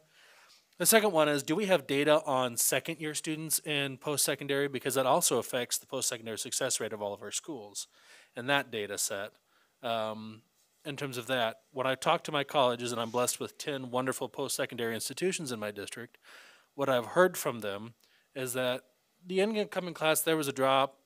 It wasn't bombshell. They've had those kind of drops before, but what really caught their attention is the lack of returning students from the previous year, because that also dropped precipitously more than any other data set. Um, that was really alarming is the lack of returning students. So do we have data on freshman to sophomore data? Because the data you shared was just the incoming freshman class, correct? That is correct. Um, do we have data on that? We, we have incomplete data. We'll have complete data sets this summer, Ben, on what happened to that returning student. The class of nineteen? Yes. I appreciate it. Thank you. Yes. Jim? Thank you, Mr. Chairman. Randy, thank you for your report. And You know, it, it sounds awful, but you know, in the awful is opportunity. And I hope tomorrow that we start to address the issues that we face, not with the solutions, or excuse me, not the- with the status quo of the past. This gives us a great opportunity because the one thing that's, that keeps resonating with me as you were going through is IPS. Uh, This isn't, it, it's big data points, but the data point I'm worried about is the each, each kid. And each one's gonna be a little different. And we can't address the future by bringing the status quo of the past forward. So I'm really looking forward to tomorrow's uh, dialogue and uh, the, the, the, the aid and enthusiasm we're going to have for redesign. It fits right in, and I, I, I've listened over the past several months, and the schools that seem to be districts that seem to be handling this the best are those that were already engaged in redesign. So I'm looking forward to uh, redesign being one of the core values of uh, moving forward for the benefit of the, of the students that we, we serve. We, you know, uh, all of you have a different story to tell about your children or grandchildren or nieces and nephews. But, you know, we were just having a brief conversation. Michelle's stu- kids are different than Melanie's. It's, and it's, that's the way it is. When you have a half a million, public and private, they're all different. Our system was made to have minor, as you know, Jim, accommodate minor differences, right? That IPS turns it on its head. And we have an opportunity. We have an opportunity to accelerate this, and we're going to have to demand that we all work at this together to do that. It's really hard work, but we have the opportunity to do it in front of us. Ann? Um, Thank you, Mr. Chair. Randy, I'm just looking at the numbers. Does it look like um, ESSER three is going to be over a billion for Kansas? Because that's what I'm guessing. No, Ann, uh, well, I, no, no, you say for Kansas, there's other, I'm talking about the school money. Looks like it's gonna be just under six hundred million. Really? Okay. Um, No, I haven't, we haven't seen the printouts on that, but there'll be some state and local money and there'll be some other money, but So about twice what we got into? uh, about, one- we're- it's a little bit over one and a half what we got into. Okay, and proportionate for private schools? Yeah, uh, private schools will see a doubling. Doubling, oh, okay. I'm sorry, they'll see, they'll see the same, same amount of money coming. Same propor, oh, Yes. same as they got into? That's correct. Gotcha, okay. Um, i- Isn't that SAEBRS survey free? Yes, The- well, okay. no, it's, it's through FastBridge, but it comes with the subscription to FastBridge. Okay, because I was thinking at one time we said that first level in SAEBRS was free to all the schools, and then if you went beyond that, they had to pay for it, but maybe things have changed since we first learned about it. I'll check into that, Ann, and make sure that Okay. I'm telling you correctly. Um, d- Can we use ESSER money to reach back to the 2020 class? Yes, And do you hear schools talking about that, or are they kind of like, they're not my job anymore? well, I don't think they're saying they're not my job, they're probably focused on the immediate and the future. Uh-huh. Any ESSER money, E- any EANS money can reach back to March of 2020. Okay, So that's important for you to know, and we'll discuss that more tomorrow. But it is all, you can reimburse back to any expense of 2020 and any, uh, any cost that would have been related to the pandemic back to a year ago. okay. And do you hear schools talk, we were talking about summer school, like, well, everybody will want to come back and teach. And I'm thinking, you know, if I've been through this year, I'm not sure I want to come back for summer school. So do you hear districts talking about negotiating now for con, obviously they're going to have to have a new contract if people are going to come in for the summer? Yeah, and, and I don't know, Sherry probably has a better idea of that than I do in terms of the negotiation process. I do know that if districts that have been in person and also teaching remotely, which is the Mhm. majority of the districts, they're tired. Yeah, This has been a heavy lift for a long time, you know, a full calendar year. Um, But if you go to navigating change, okay, this is, comes back to the structure. We really need to put teams of teachers together so they can shoulder the load and not be so isolated. It, it really begs for a different structure, as Jim said, completely looking at how we, how we formulate going forward. And, and those that, you know, aren't gonna be available this summer, or that, that'll be fine, you know, we, maybe we do some other things. The community can play a great role in this too. okay. The only other thing was, I know, um, I had sent you a note about year-round school. Do you think we need somebody on staff working on a year-round school concept to help districts who are kind of thinking about going that way so they all don't reinvent the wheel? Well, if, if we have a big push for that, um, uh, Jean asked the exact same question that you did, Ann, uh, of me. If you look, and if we do summer school, let's just say in June through mid-July and take a little bit of time and then start school an extended year in August, you almost have a year-round school for the next two or three years without calling it year-round.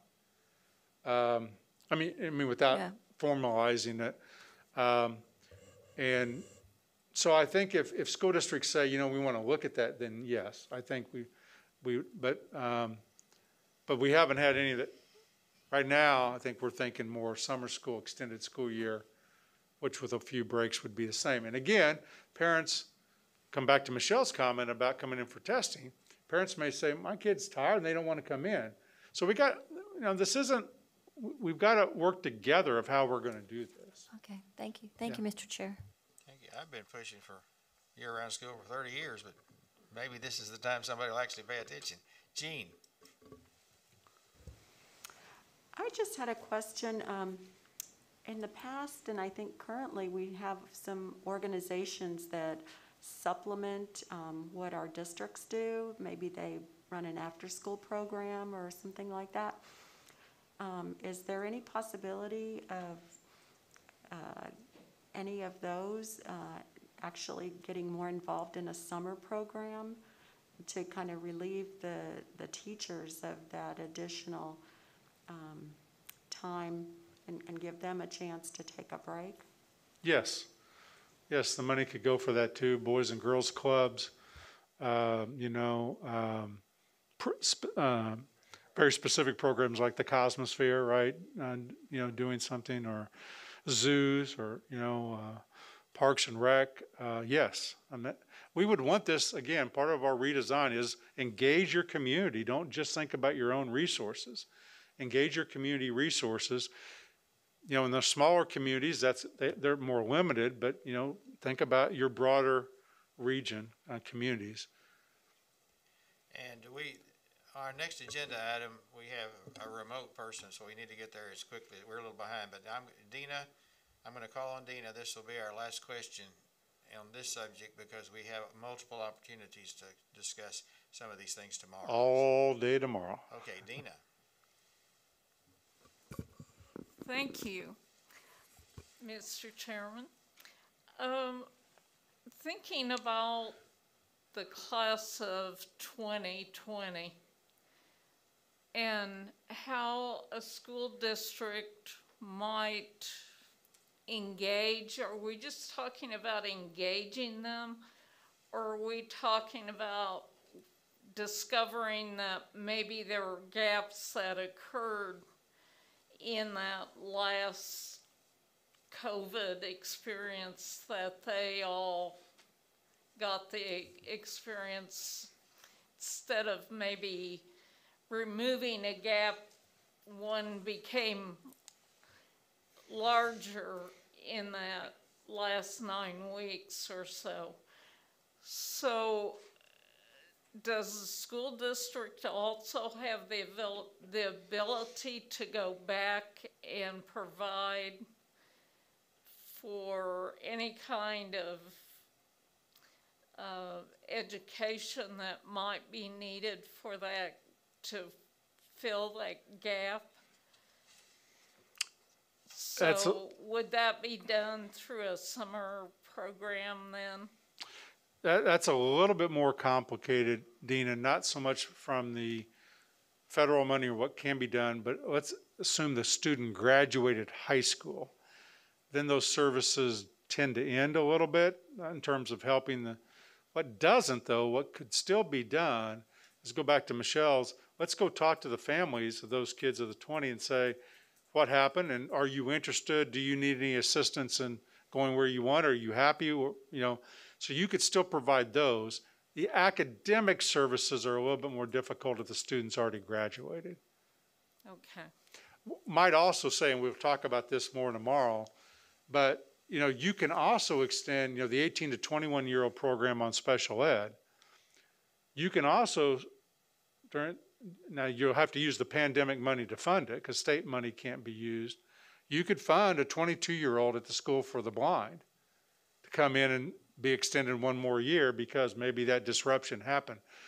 Uh, we got a, I think, a, a letter from a parent, I think in one of your two regions that said, hey, the school did a really nice job, but I didn't want my kid because of underlying conditions to be in the school. Is there any way to extend it? And the answer is yes. All right, with the federal money. Uh, now, that's an option. All these are options that local districts can do. I think what we want to do is make sure they understand those and help help them maximize their resources and going forward. Yeah, and I had several people that contacted me about the extension of that twenty-one, and I think that it's really important that we make sure that, that school districts know that they have that option and, and quite frankly, encourage it, so. Thank you, Thank you, Mr. Chairman. At this time, we're scheduled to break, but I think that we'll just not take it. Uh, and we have, uh, Stephen King that's going to be presenting to us. Is Katie available? And Katie Hendrickson is from code.org.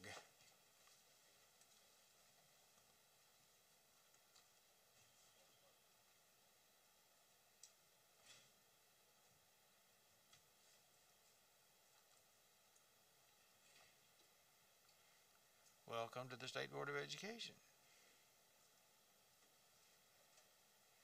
Thank you, sir. Um, Mr. Chairman, members of the board. Am I on? Is the, is the blue light on? I don't hear myself. Okay, I hear myself. Thank you. Um, so, Mr. Chairman, members of the board, I really appreciate the opportunity. I'm excited to come up and talk to you about where we have been, um, what we've been doing over the past year.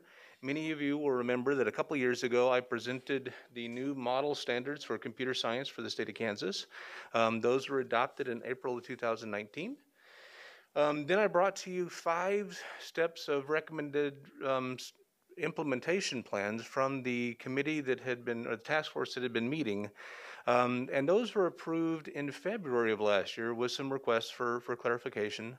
Um, and we have been working diligently on those. Um, it's been kind of a really kind of a long, strange trip as far as the past 12 months have gone, as, as many of us have talked about, and, and the commissioner um, you know, talked about our um, our ability to meet in person and that sort of thing. But um, plus, our, our attention span really hasn't sometimes been on more the navigating next topics than they have been on on specific computer science things. But we've um, accomplished some things, and I'm happy to be able to talk to you briefly about um, where we are, and then um, have Katie Hendrickson from Code.org um, to talk about on a national level um, what she's seeing status-wise, policy-wise, um, nationally. So. Katie, if I could, I'm going to go through my five recommendations real quick and then leave it uh, to you.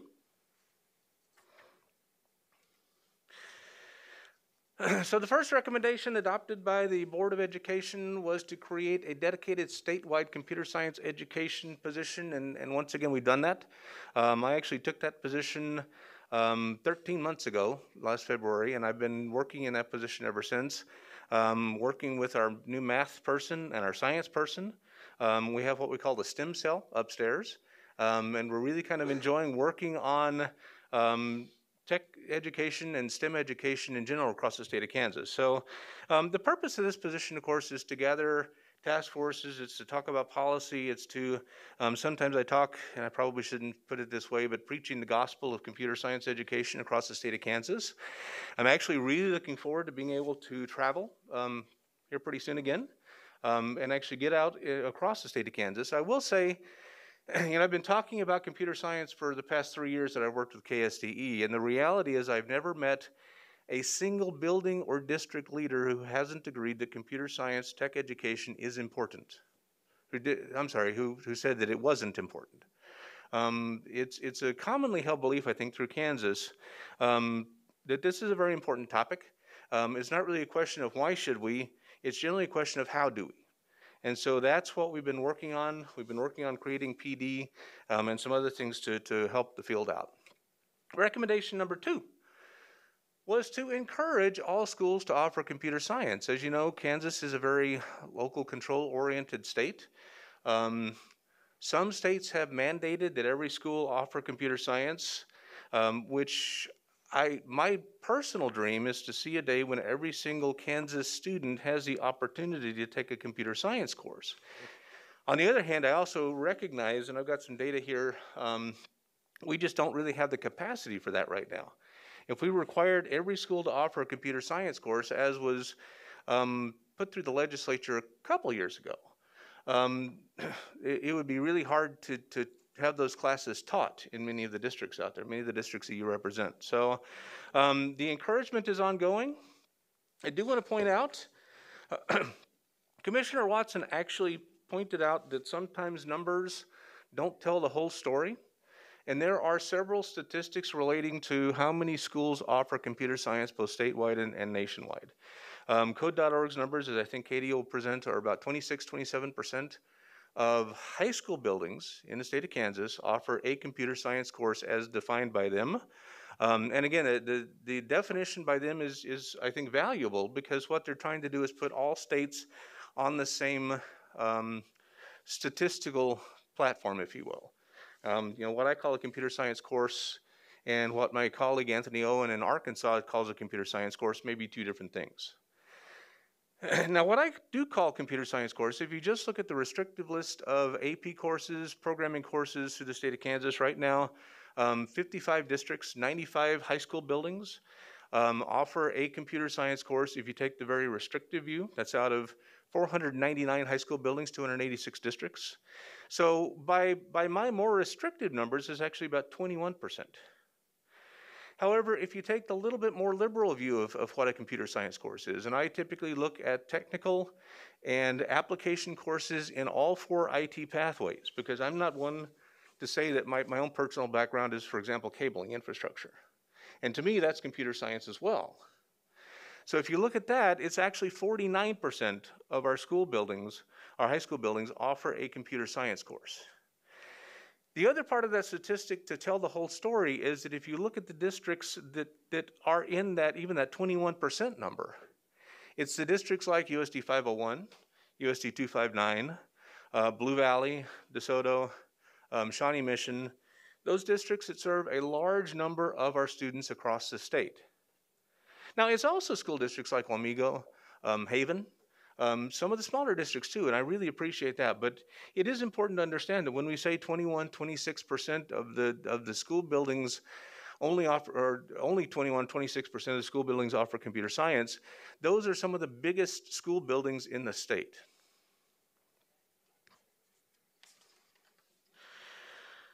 Recommendation number three is one that we've been kind of struggling with. Computer science should satisfy a core graduation requirement.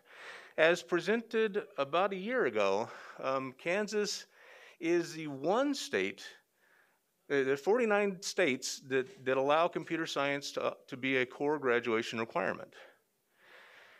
Now, the challenge with that is if you're looking at how the other states are doing it, there are actually about 49 different ways they're doing it. So, for example, Arkansas, my colleague in Arkansas I bring up several times, um, they actually require four math courses. One of which can be a technical math course, and the computer science can count as a technical math course. Still can't count as one of the, you know, one of the core maths. And so as we've done this, we've approached this from the standpoint, okay, what can we do to emphasize the importance of computer science while not handicapping the student's ability to go on to post-secondary efforts and understand enough math and science and English language and that sort of thing.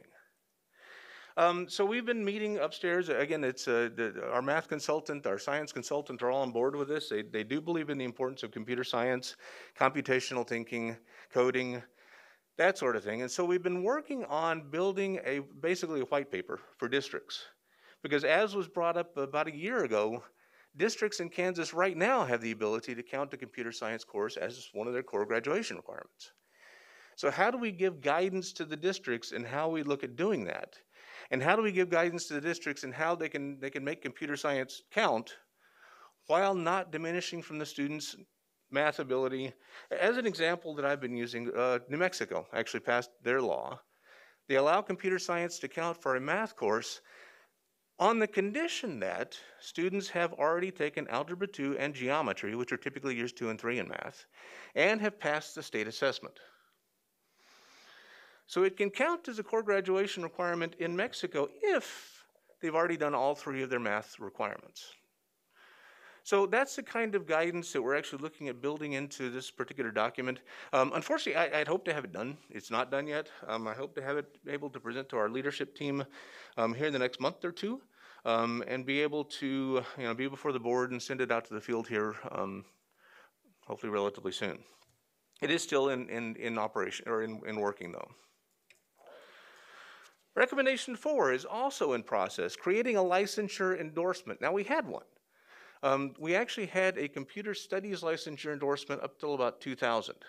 And in fact, if you pull the data, and we have, we've looked at the uh, licensure endorsement for the five courses that we're looking at that we're considering computer science in the high school. So basically the two AP courses, the IB course, and the two programming course codes. If you look at those, there are currently 55 teachers teaching those five courses across the state of Kansas. Out of those 55, 19 have the existing computer studies endorsement. Many of the rest of them have CTE endorsements. They have uh, you know, the ability to teach the course based upon the, the Part 5 of the Licensed Personnel Guide. Um, what TLA is working on and we've been actually having several meetings. Had a meeting um, about a little bit over a week ago where we split up into five subcommittees to work. I'm on each one of the five um, to kind of shore out some of the other areas of the the, the teacher endorsement um, standards, which are a little bit broader than just the academic student and um, standards, if you will.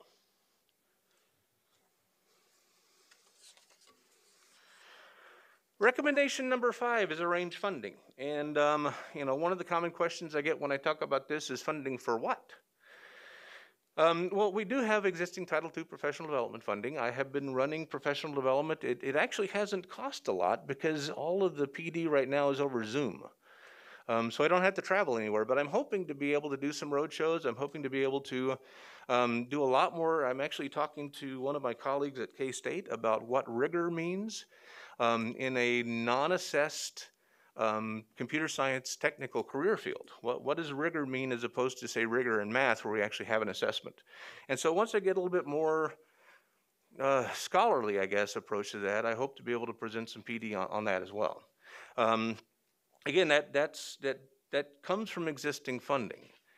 Um, we, we've been looking at other things. Our, our focus has shifted a little bit because instead of looking at computer science education, what we've been looking at is seeing how computer science, tech, and STEM can all benefit with the ESSER issues that the commissioner was talking about. How do we use our fields to help bring students back up to where they should be grade level wise standard? And, and I know that computer science isn't part of math, nor is it part of English language. Um, but it can be used in some of this. And so um, it, it's, it's, a, it's a tool. And so we have been looking at how do we, how do we bring that to the table to help with our current existing situation. So those are the five recommendations that, uh, that, that we got approved last year. Um, there has been some work done. There's obviously some work still to be done, and, and I'm excited to continue this effort. It's, it's exciting for the students at Kansas. Um, let me real quick turn it over to Katie, and Katie, um, you can add what you'd like. Welcome, Katie. Thank you. Thank you so much. Thank you for the welcome. Can you all hear me okay? Yes. Okay, wonderful. I am going to try to share my screen here. Um, I have, oh, it looks like I cannot screen share while the other participant is sharing. Oh, there we go. Okay. All right, let me know if at any point you can't see my slides. Um, I'll go through these quickly. I know you all have a lunch break coming up, but thank you so much. I wish I could be there in person. We're not able to travel right now, um, but I definitely think fondly of my times uh, in the past in 2019 and 2020 being able to be there with you all in person. So one day I'll be there again. Um, so I'm going to share some information from Code.org, the Computer Science Teachers Association, and the Expanding Computing Education Pathways Alliance uh, from our 2020 State of Computer Science Education report. Um, so first of all, why is this important? Um, looking at last month's data in the state of Kansas, there were about 2,000 open computing jobs, 74% of which require a bachelor's degree, um, not necessarily in computer science, but certainly would require some computing knowledge. And yet, uh, in the most recent data that we have on bachelor's degrees, only 500 or so were earned in computer science. So one of the, the key pieces of data that Stephen had introduced is this computer science access report. We have data from every school, every high school, I should say, across the country, and 47% of those are teaching at least one foundational computer science course. So you can see in different states, the numbers vary. Arkansas um, has been brought up, they're at 89%. Um, to, to Stephen's point about definition, I, I believe that our, our colleagues in Arkansas would say that their definition of computer science, 100% of schools are teaching it. Um, but again, this is for comparison purposes. Uh, just to give you an idea of what the definition we use um, is, this is the definition from the Computer Science Teachers Association standards and the K-12 Computer Science Education Framework. Computer science is the study of computers and algorithms, their principles, hardware and software, implementation, and impact on society. So for the access report, we take that definition to kind of define the core of computer science. Has to be the study of how computers work. Um, it's not just these things, but really all of them and how they work together. We also chose to define it based on applying concepts through programming. So programming or coding have to be part of a course to consider it to be a, a foundational computer science course. These are the courses that we use for a definition in the state of Kansas. We basically look at every state's course code catalog and find the courses that have computer science in the title or programming in the title or just other titles generally. We look at all IT courses and select the ones that fit this definition from the previous slide and this slide. So overall, uh, we looked at 363 schools in the state of Kansas. Um, there's a breakdown of kind of how we get those schools. Basically, any school that has at least one high school grade, um, we use the NCES database to uh, determine that list. So here's the data that we have for Kansas for the past two years 26% of high schools or schools with high school grades, and then 27%. When you look in comparison to other states, uh, Kansas is pretty far below most of the other states. Um, you know, the average is 47%, or I guess not the average, the, the nationwide number is 47%, um, and Kansas is, is down there near the bottom. So that uh, is that correlates to 99 schools um, and 66 districts that are teaching at least one um, foundational computer science course. And um, I do have a spreadsheet with all of those schools, all of those districts, and you know, which percent of the high schools within that district are teaching computer science. So these are the largest districts. It does look like most of these are teaching computer science um, to kind of what Stephen had said earlier. And I believe you also have access to this full spreadsheet. If not, I'll make sure that you all can see so you can look up the school districts across the state and uh, what percent of high schools within that district are teaching one of those courses. Now, um, this isn't all bad news, right? Um, in the cities in your state, 73% of high schools are teaching computer science, and in the suburbs, 65%. The challenge is really in those rural schools, and really it's in those small schools. So I think uh, your challenge and Stephen's challenge, and I'm uh, obviously here to help support as well, is to figure out how do we support those smaller schools to make sure that they're giving their students those opportunities that students in those larger schools, in those cities, in the suburbs have access and opportunities to take.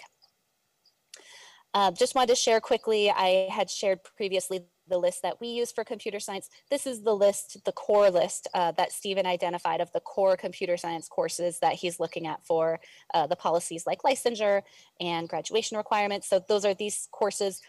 Uh, 95 schools are teaching at least one of those. So you can compare that to the 99 from the slightly longer list that uh, the Access report is using for foundational courses. Um, so uh, why does why does this matter? Um, I, I, like to tie this back to policy. So there is a connection between the adoption of these policies that support computer science as a foundational core subject area and the percentage of high schools that teach it. This is all 50 states, and you can see that there is somewhat of a correlation between the number of policies adopted and uh, the percentage of schools teaching it. Uh, what I also find interesting is that there's not uh, that many school or the states uh, in the bottom right hand corner here. Basically, if you have these policies in place, a lot of the high schools are going to be teaching computer science. There's a strong support for them. But there's also states that are up there in that, that upper quadrant, which shows that these policies don't necessarily guarantee that there's going to be more high schools teaching computer science. Uh, they, they can help support it, but you absolutely don't have to have them in place. And I'll go through some of those nine policies uh, right here. These are all of them and where Kansas stands on them. Um, just to highlight the K-12 computer science or pre-K-12, sorry, computer science standards that were adopted in Kansas are a really great first step. And Stephen, of course, as the CS supervisor, is also making sure that these efforts are continuing. Stephen talked about those five recommendations from the task force. Those do align with five of the nine uh, policies on that previous page. I won't go through them again, uh, but just so that you can see kind of what's happening across the country. These are the states uh, plus DC that allow computer science to count as a core graduation credit. Um, Kansas and Connecticut are the only two that don't allow it to apply towards a math, a science. Uh, some also allow it to count towards a practical arts, foreign language, a technology credit. Um, Connecticut is the other one. They also have a recommendation from a task force that they are looking at in terms of how it can count towards graduation. They just haven't put it into policy or issued guidance to districts yet. Um, and then teacher certification, something else that you all are working on. There are 40 states plus DC who currently have a teacher certification in computer science. Some of these require teachers of computer science to have this computer science certification. Most of them do not. So you all also have somewhat of a unique challenge here in that when you have this CS licensure, you'll have to make sure that you're not you know, cutting out your teaching workforce and resulting in fewer computer science classes being taught across the state. Um, it is a challenge. There are other states in that bucket with you, um, and I'm sure that Stephen will be working with them as well. And then finally, state funding. I know that it's been a really tough year for funding, but we are finding that many of these states that have committed funding in the past they may have frozen uh, their computer science grant programs back in you know, June, July, August when they were concerned about their fiscal situation. Most of those states have now unfrozen and restored their computer science funding to previous levels. This varies um, in the states. This is all state uh, money that's been dedicated specifically to computer science. In some states, it's a couple hundred thousand dollars. In some states, it's a couple million. We've been talking about Arkansas, so I'll give them as an example. 2.5 million per year over five years, and they're asking for 3.5 million this year. Uh, Missouri, your neighbor, uh, has 450,000 per year for the past couple of years. So those are kind of the policies I wanted to highlight. I'm happy to answer any other questions you all have. I'm always available by email, katie at code.org, and then you can see all of this data in the report um, at our website here. Uh, and I have several questions, uh, and then we'll get on to, the, to my colleagues. Uh, I want to look at look at the uh, recommendations and, kind of in order. Encourage all schools to offer computer science. What excuses or reasons? Because if we look at that list, there's a whole lot of rural schools that, that are not providing that service? What are the barriers? What are the excuses uh, that's keeping that from happening? And is any of it, I don't want to? It, so, Mr. Chairman, in my experience, it's never been I don't want to. Um, it's always been a couple of things. One is they don't feel like they have existing teaching staff to actually adequately teach a class. And the second part of that is even if they were able to get, um, I, I'll use one school district, uh, a redesigned school district as an example. They were, they offered, they couldn't offer the, the class because there was no teacher, but they had their IT person set up in the morning to do a drone exercise for students. Again, not a class, but a, an educational experience for the students. But then the question from a district administrative standpoint is, is that sustainable? If, if I get this going this year, can I continue to offer it next year and the year after? And so the question is, are there teachers in the pipeline to support this year over year? And that's the question I hear um, just on a regular basis. Well, I have a couple of districts that probably have less than a dozen or two dozen students in a high school. Uh, and so to hire an extra person is probably not going to happen. Has there been any discussion about these school districts that do not have the capability uh, to work with uh, regional groups or service centers or cooperative efforts so that a teacher can perhaps uh, provide services to multiple school districts? Is that an option? Has that been considered and, or should it be considered? It, it is, yes, sir. Um, and it is being considered. Um, we've also been looking at some of our, some of the service providers, um, the, the curriculum providers who um, can help to train existing teachers. Um, I know that if you look at the people who don't have endorsements for computer studies who are teaching the computer classes at the, at the secondary level, a great many of them are actually business teachers who kind of picked up the computer science stuff on the side, which is, it's a path. Um, hopefully with the endorsement path, we will, will, will, will formalize that. And that's kind of the, the first step in my desire is to formalize the path to get to where you're competent, competent teaching these courses. And I assume most school districts have a business teacher. It's a whole lot more common than, than computer science teachers. Yeah, Yes, yeah. Okay, let's, the next one, computer science should be satisfy core requirement. When this first, when we were dealing with the legislature a couple of years ago, Mm-hmm. I got into shouting matches with some lobbyists over, over the responsibility. By the way, Katie was not one of those. Uh, she was very reasonable. The, re- some of the rest of them were not.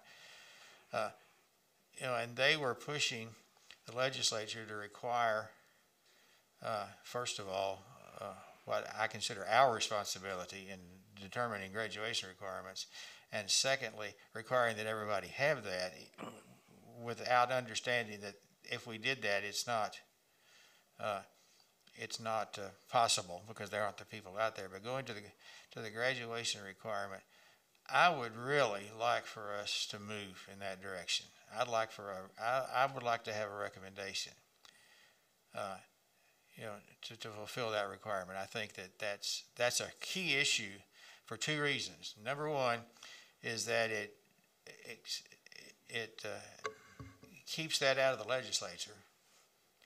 But more importantly, uh, we've got 2,000 job openings, uh, and it's a it's a real opportunity through the individual plans of study, if if that's available, for uh, for us to provide opportunities for kids to get really well-paying jobs that they're interested in. So I think I think that's a critical component.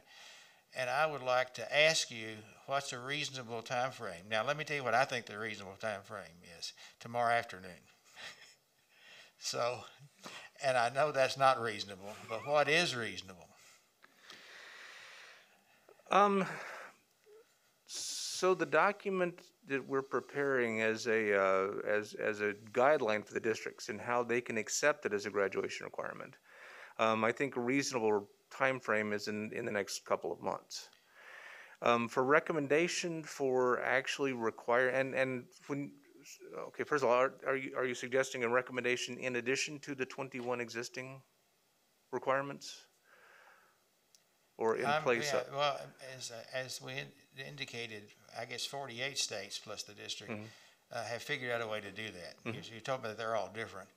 Uh, I think it'd be reasonable. We need a recommendation to make that work. Okay. And, Uh, and the, I'm And, sorry.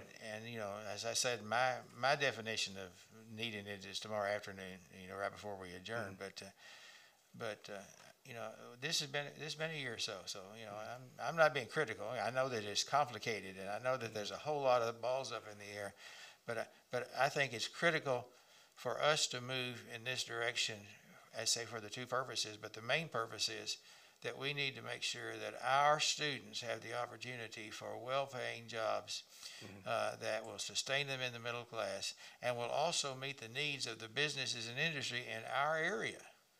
Because we have a lot of technology companies in our area, and, and so that's, uh, so that's critical. Can we have a recommendation by May? I can make it happen, yes, sir. Thank you, let's do that. Yes, okay.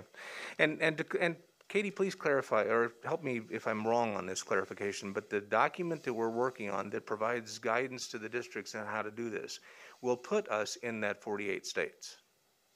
Correct. Yeah, about half of those states um, we consider to be district decision, in which it's not a statewide um, graduation requirement allowance, but instead guidance that the state issues to districts who decide their own graduation requirements. So we would put you in that bucket. So we're already moving in that direction. Yes, sir. Okay, that sounds good. And the next one, what is the barrier uh, to the licensure endorsement? Time, basically, time and procedure. Um, the, the, the licensure endorsement is always a committee process that gets in, uh, adopted by the board and, and then we set the guidelines. It's a, it's a fairly longer process than I realized in getting into it. Um, it is working. She had to rebuild the committee, um, last month because, a couple of people have commented on how people, district people are tired right now. The field is, is feeling tired and put upon. Um, so she had several people drop out of the committee. And so she's had it rebuilt. Um, our last meeting was, was almost two dozen people. So I think she's successfully put it back together. Um, and now we just need to finish, finalize the draft basically. And the idea was to finalize the draft by, by, by late March. Okay. Thank you. Uh, I assume, Jean, that that'll be something that's discussed at the Professional Standards Board, so if you'll maybe be our pusher. Thank you. Okay, there's several questions. We're probably not gonna get to go to lunch today, and that's perfectly all right with me. Uh, Ben, Thank you, Mr. Chair. I'll be short. We, as part of the graduation requirements in Kansas, there are six electives that are required. Can this class be fulfilled? Well, could it fulfill one of the elective credits already, currently? The district could do it. Absolutely, sir. Uh, but that doesn't count on the lobbyist check mark. It has to Oh. be, has to be a core. Naturally. Has to be a core, not an elective. Okay, good to know. Thank you. Deena, Thank you, Mr. Chairman. Uh, This document that you provided us that says the percentage of schools in a district teaching commu- computer science, when I look at Salina, where I live, mm-hmm. and do some subbing, I know that kids from one school go to the other school for, so do you also have some sort of documentation that indicates that the students have access even if the teacher is not residing in their building? Do That's you a know really what good I'm question. I, I wish I did. Um, the data that I've been able to pull is actually out of the CTE database, which tells us which course codes are taught at which building. Um, so, and, and I'm familiar with, with Salina. I've actually visited Salina South and watched. Um, it actually wasn't a teacher from Salina South. It was a teacher from K-State Poly teaching the course. And the teacher was sitting in the course learning programming along with the students. And it was, I thought, a wonderful example of how, how we can skill up our teachers um, except for when I asked who was paying the, the K-State Poly professor, and it turns out he was doing it for free. Um, but all that being said, I, I know that it is happening. I've seen it happen, um, but I don't have that data. I can try and Okay. find a way to get it.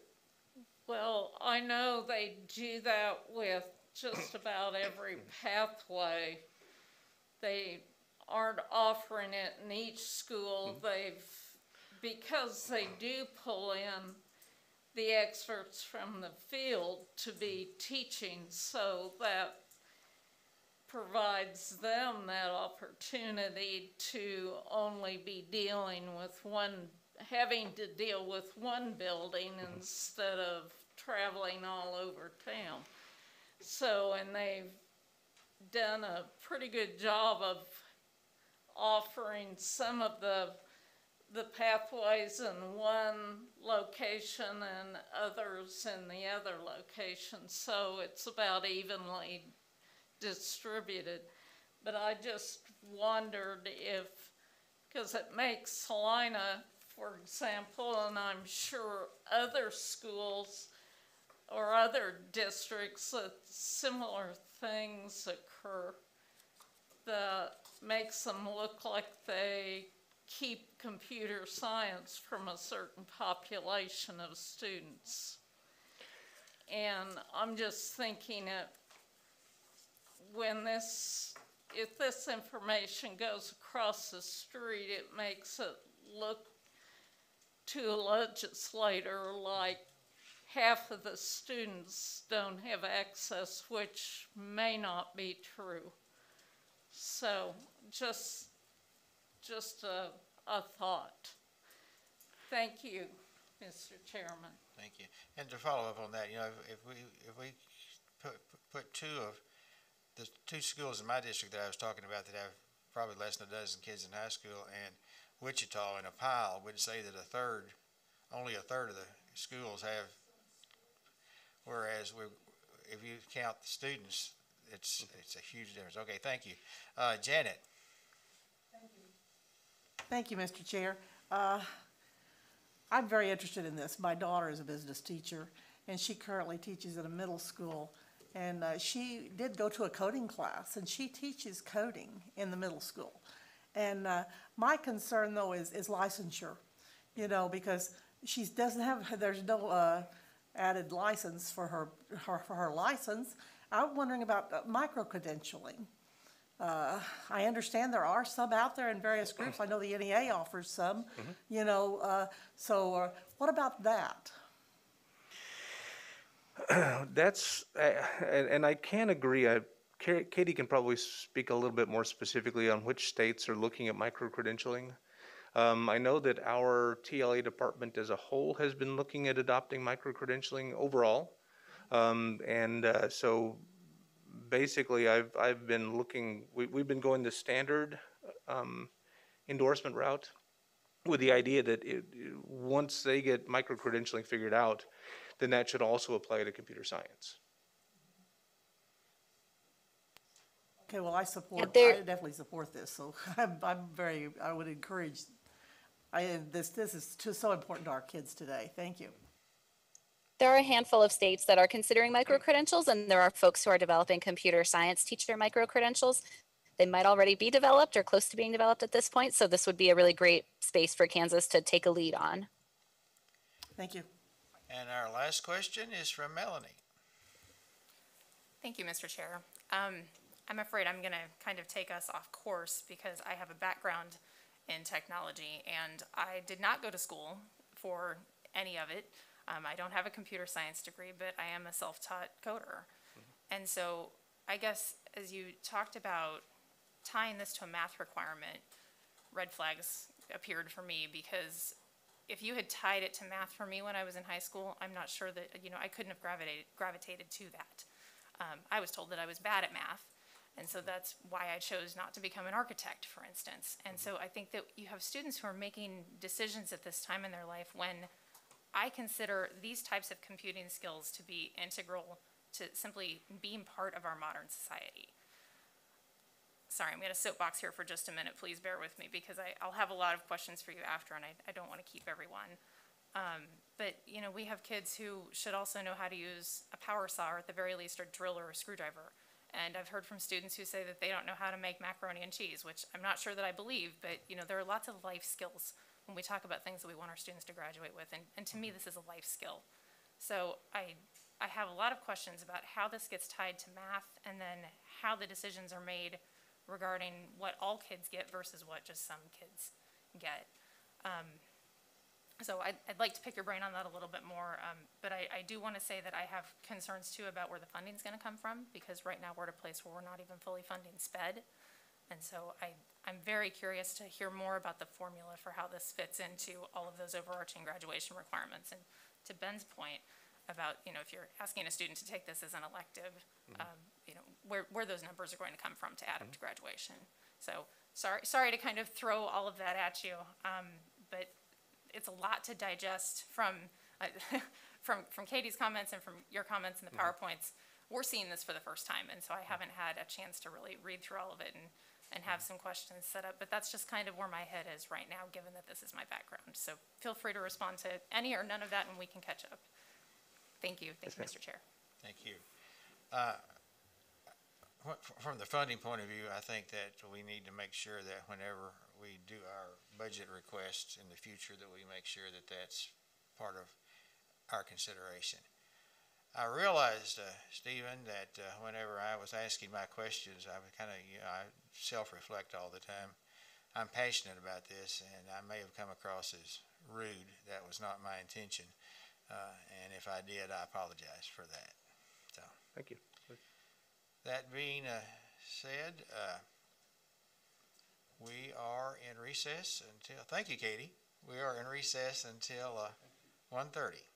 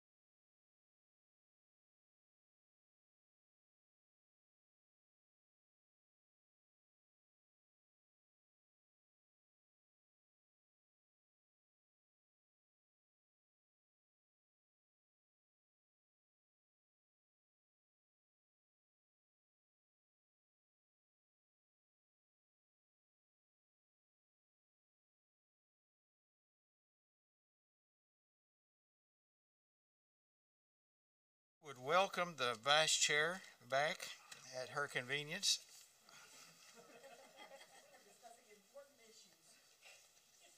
I'm accustomed to hearing excuses, so that's okay.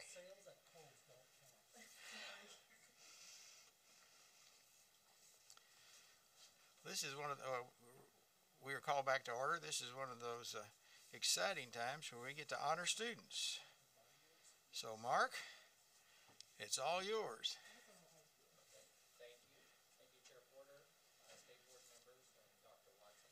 I'm Mark Thompson. I'm the Education Program Consultant for Health and Physical Education here at KSDE. In addition, I serve as the Project Director for the KSDE Annual Conference. It is my privilege to recognize the student winners of the 2020 uh, KSDE Conference Art, Art Design Contest. I must extend a sincere thank you to Teresa Cody, who coordinates this contest each year and always does a great job with it. The theme for the conference was Kansans Can Soar. And as you will see by the students' art, they were exceptional in depicting this theme. From approximately 120 entries, which was down from what we typically have because this uh, was, was sent out post, uh, post-pandemic uh, start, um, the, out of 120 entries, finalists were narrowed down for each of the three categories elementary, middle school, and high school. From these finalists, the winners were selected. We have the pleasure of recognizing those winners today. Each of the winners received a, a frame with their artwork and a certificate mounted for them to have and to display. In addition, each received monetary awards, with the third place winner receiving $50, second place $75, and the first place winner receiving $125. Without further ado, I'll re- now recognize the winners. As I proceed through the winners, we're asking each of them to stay on Zoom, although we'll just be pulling one up at a time, until the end so we can get a screenshot of all of them at once. So, um, I, uh, um, Eric, if we can show, uh, well, actually, I'm, I'm kind of in control of maybe I'm not. uh, this uh, Jade Willard, uh, which is the, um, you can see the camera on the screen. That is the classroom of Jade Willard. Um, third place winner, Jade Willard from Sunflower Elementary School in Paola. Jade was in third grade and is now a fourth grader. Her teacher is Emily Alphen. Her principal is Stacy Wokuch, and the superintendent is Matt Meek. Her artwork dep- depicts sunflowers and a hot air balloon displaying a rendition of the Kansas state flag as the balloon is positioned over the American flag. So, would like to say a hearty congratulations to Jade.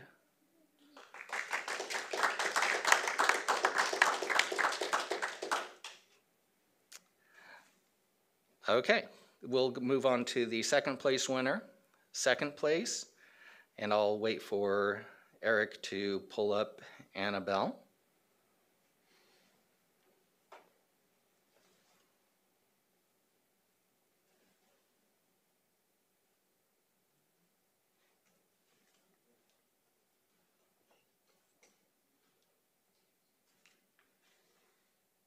This is kind of one of those things where you wish you had an opportunity to rehearse it. Ah, there we go. Uh, so Annabelle Storr uh, is the second place winner she, of Storr Christian Academy in, in Inman. Annabelle was a ninth grade student, grade student and is now in 10th grade. Her teacher is Katie Storr. Annabelle's artwork depicts a bird, which I think looks like a meadowlark, soaring with wings open wide with a sunflower and a nighttime farm scene with trees, a barn, a house, and a pickup, all illuminated under a moonlit sky. Just a beautiful depiction. Annabelle, congratulations to you.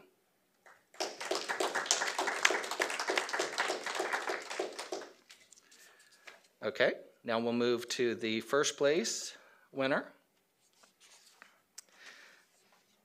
And I'll wait for Eric to transition.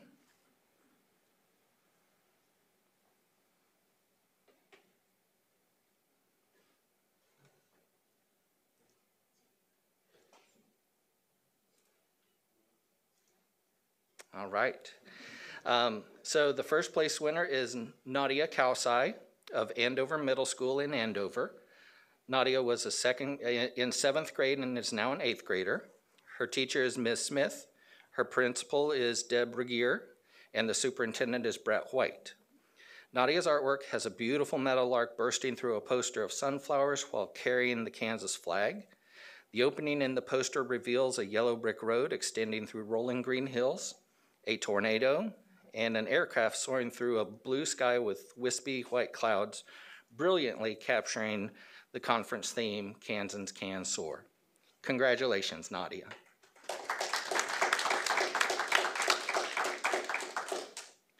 So Eric, if you wouldn't mind pulling all of the, them up as well as their uh, supporting crew.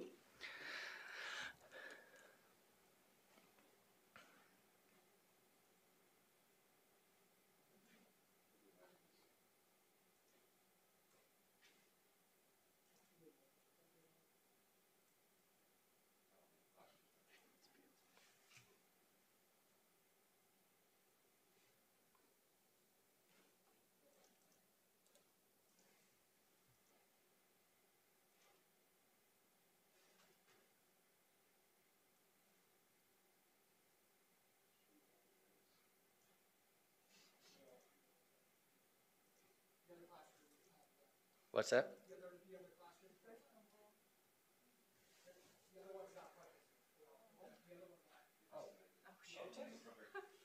Wow, okay. so, uh, for those that are remaining, congratulations. Congratulations to all the winners. Um, and um, uh, Chairman Porter, uh, board members, Dr. Watson, uh, if you would like, I don't know if you want to um, say anything, have a comment, ask questions. We, we don't know what their, their audio feed is like, but uh, we're, we're rolling as we go. Well, first of all, we want to congratulate you on a job very well done. Normally, we would be at a conference and we would get to congratulate you in person. And so we're sorry we can't do that, but uh, these are amazing. Uh, you're very, very talented people, and we really appreciate uh, your efforts and admire your talent and your willingness to participate. So I want to thank you. I want to tell you how proud we are of you and uh, keep up the good work. Uh, any other board members have comments?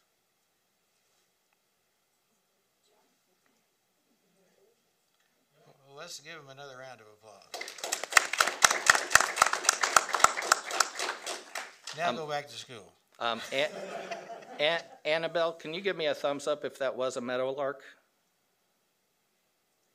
Okay, thank you. Thank you all for, for joining us. Uh, to all the winners, their teachers, administrators, and parents, congratulations, and thank you for taking the time to meet with us today. Thank you. Thank you, Mark.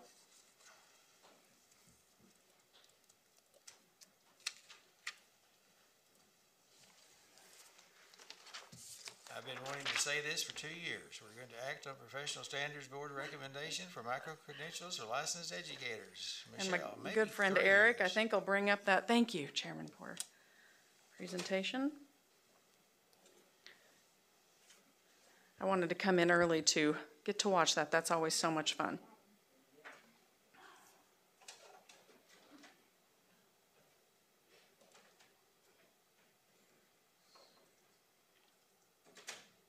Now you need to figure out how to erase us. I know. Yes, we need to be removed.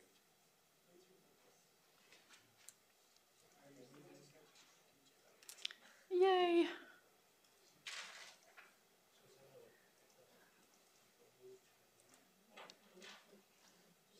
Okay. Practice my patience here. I don't have a lot of that. so- I, yeah, I'm the worst, so.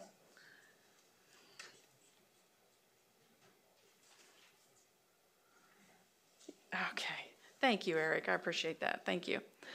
Good afternoon, members of the board, Chairman Porter, Commissioner Watson. Thank you for this opportunity. As Chairman Porter said, this is, this is one of those times I, I'm not bringing children with me, so I uh, really appreciate that chance to get to see that artwork. Ama- amazing things done by our Kansas kids. But this is exciting for Kansas educators as well. So if I might be able to just remind you um, a little bit about this, this process. Most of this is, as Chairman Porter said, not new to you. But where we want to uh, keep our teachers and keep learning for our professional, professional educators is that we're creating an opportunity for personalized professional de- development that does more for teachers and not just being seen as one thing more for them to do. The definition that we are asking for your support on today, uh, you have documents about this as well. We presented those to you last month and we're, we're back this year. That the micro credential is a personalized professional unit of study. It's competency based and results in a credential. And it can be used at the local level both for formal and informal professional learning experiences. I might just, uh, uh, member Clifford and I had a conversation just right before and in relation to your computer science work prior to your lunch break. I, I want to make sure that, that this is clear. In, in no way is the micro credential at this point intended to take away the endorsement work that teachers do to add their, to their teacher licenses. That's not what this would be about, that, those folks that go through the process for endorsement, uh, to use uh, Chairman Clifford's words, we don't want to take, a- take that away from them or from higher ed, that, that's a different level of work too. But this gives an opportunity for educators to really personalize where they are in their professional learning pathway. And uh, I appreciate the work that the members of the Standards Board, uh, Chairman Porter, others have, have contributed as well. And I have Susan with me behind me as Assistant Director so that she, if there are other questions, she's, she's here to help answer those as well. We laid out for you all the components. Uh, th- this was a, a really great joined process with members of the Standards Board, myself, higher ed, to really come up with the language on here that was helpful for educators and help our current professional development councils be able to begin to implement this process. So I did also include for you a possible motion so that it was clear what it was that we were asking for. Again, just an opportunity. We have some folks in the field who are already using this for their professional educators, and we want to be able to give a nice, good blessing from you all that they might move forward in that process. At the same time, we realize too that our regulations around professional learning for educators uh, need to be updated, and we've got uh, some things in place to begin that process as well. So, with that, I will uh, stop and answer any questions you all may have. Ben, Thank you, Mr. Chair. I'm very excited. I share the chair's um, excitement for this. I think it's a great way forward and uh, in professional development, which is this is what it's addressing is professional development of our teachers. They become the students again in that mode. If we expect our students to have an individualized plan of study, this fits right in with our vision. And I wholeheartedly believe that this is an individual plan of study for our teachers' education and I'm, I applaud it. So because of that, I move that the Kansas State Board of Education endorse educator micro-credentials at the local level as a viable option for individualized, personalized professional learning to improve instruction in Kansas. is there a second? Jim McNiece seconds that motion. Any further discussion? I'm gonna ask a clarifying question. Mhm. Does that cover it? The- The motion that you, the suggested motion there is different from what we have on our packet. Which one of them is the, This one. the one that Ben made? Or the one that's on the, on the How are screen? they different, Chair? I'm sorry. This one, please. Uh, Can I'm- you modify your motion I to amend that? my motion to Can you approve the modify your definition. second? So, so may I ask a clarifying question? Uh, a- apologies, I think I might have gotten my PowerPoint in and then, and made a change. This one, thank you, thank you for giving me that moment. This one. I'm in mind to what's on the screen. Any discussion? Okay, Ben, any more? Ann? Thank you, Mr. Chair. Um, Michelle, are, s- are school districts, do you think they're, would, are they amenable to allowing some of their professional development time that they allow during the school year to be used for this? So teachers really can individualize their learning rather than have to sit through, you know, whatever the district had planned for a day? I think this will give them an opportunity to be more amiable to that. I, um, I, I do know there have been systems, I've been out two and a half years, even, even that long ago, that were doing some of this already. And the conversation we had with a particular school system that was dipping their toe deeper into this really was waiting for this before they opened up those floodgates a little bit to, um, to, to your point, give time in a school calendar and in a school uh, opportunity to really use that for, for these singular purposes so that every day isn't pre-planned. It can be an opportunity for teachers to use it for their individualized plans. So we have a communications plan to get the word out about how that is something we'd like to see. So we will get the word out so that people can be, be given that freedom over time. Yeah, yeah. Um, again, I remain cautious that the regs aren't quite ready yet and that we have work to do there. But this gives the system already an opportunity that they can begin this work and we will, through curriculum leaders, other opportunities as well, communicate to the field that we have done this and what that means for them as a system. Okay, and if I could have one more? I guess somehow I thought you could use micro-credentials towards your renewal of your license. Y- Yes, you can, absolutely for Okay, the 'cause I thought renewal you of your said- license, because you'll still track points the same way at the local level. Mhm. You'll have those knowledge level points, you'll have impact, and you'll have application points, right? So you'll get those at varying levels. This allows an opportunity for a teacher to do more than just learn about a skill. It gives them the freedom to uh, get more points because they've used it in an application setting. If you look at the components that we have laid out, we've attached that to their current system, allowing them and to, to build up that learning, attach it to their professional development transcript for renewal. So you're Okay, absolutely right. Thank you, because I was Yes. afraid from what you said before that it wouldn't count toward renewal, but, No, it won't, it won't count toward an endorsement. Toward, Gotcha. yeah, yeah. Okay. So difference between renewal and endorsement. Thank you for Thank you. asking those clarifying questions. And to follow up, Ann, on, on my years on the Professional Standards Board, this came up numerous times, and that teachers had been having discussions with their, with their administrators and with their boards about micro-credentialing, and they're actually waiting for us to say it's okay. And so, so some of that's already in line, and I've talked to administrators who are just, uh, very excited about not, as Michelle and I both talked about, we've, we've planned things that we hated Yeah. uh, so that we can use that time more productively. So I think that, that, uh, that at least there are numerous places that are just waiting for us to say this is okay, uh, officially and then move forward. And I hope that, uh, I've even underestimated that. Seeing no other questions, all in favor of the motion, please raise your hand. All opposed, the motion carries. Thank you very much.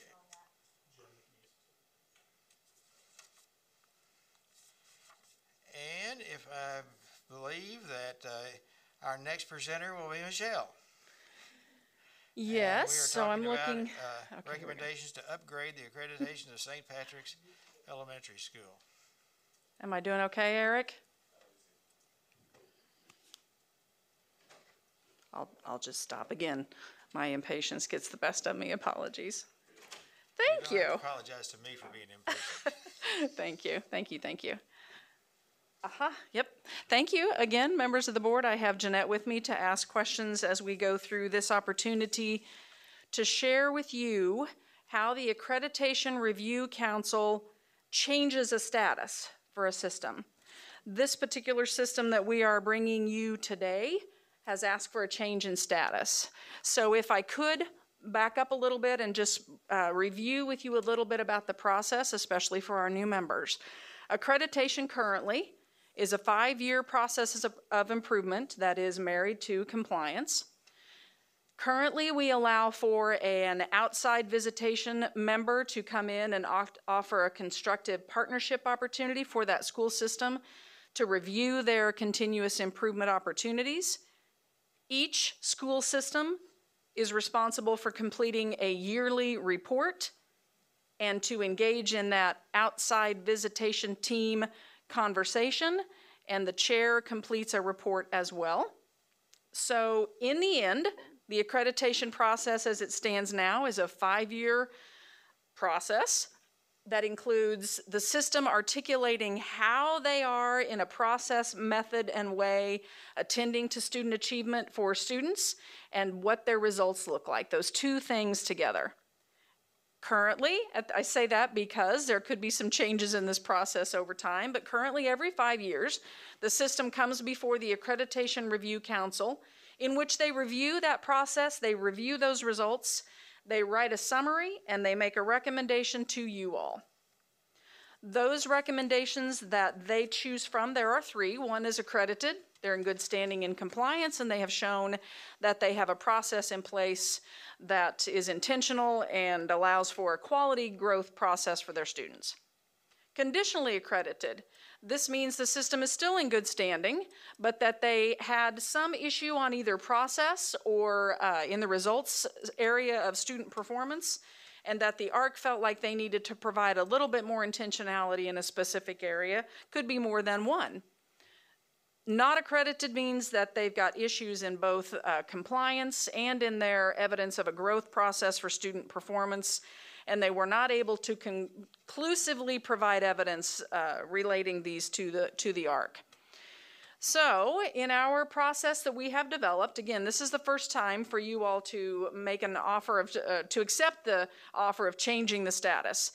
So, if they've been given that conditionally accredited status, we notify them the system. They have 15 days to make their appeal and say, we want to work on this. We, we disagree, we want to work on it, and we would like the 30 to 45 days to allow you and the, the system to prove that they have a process in place.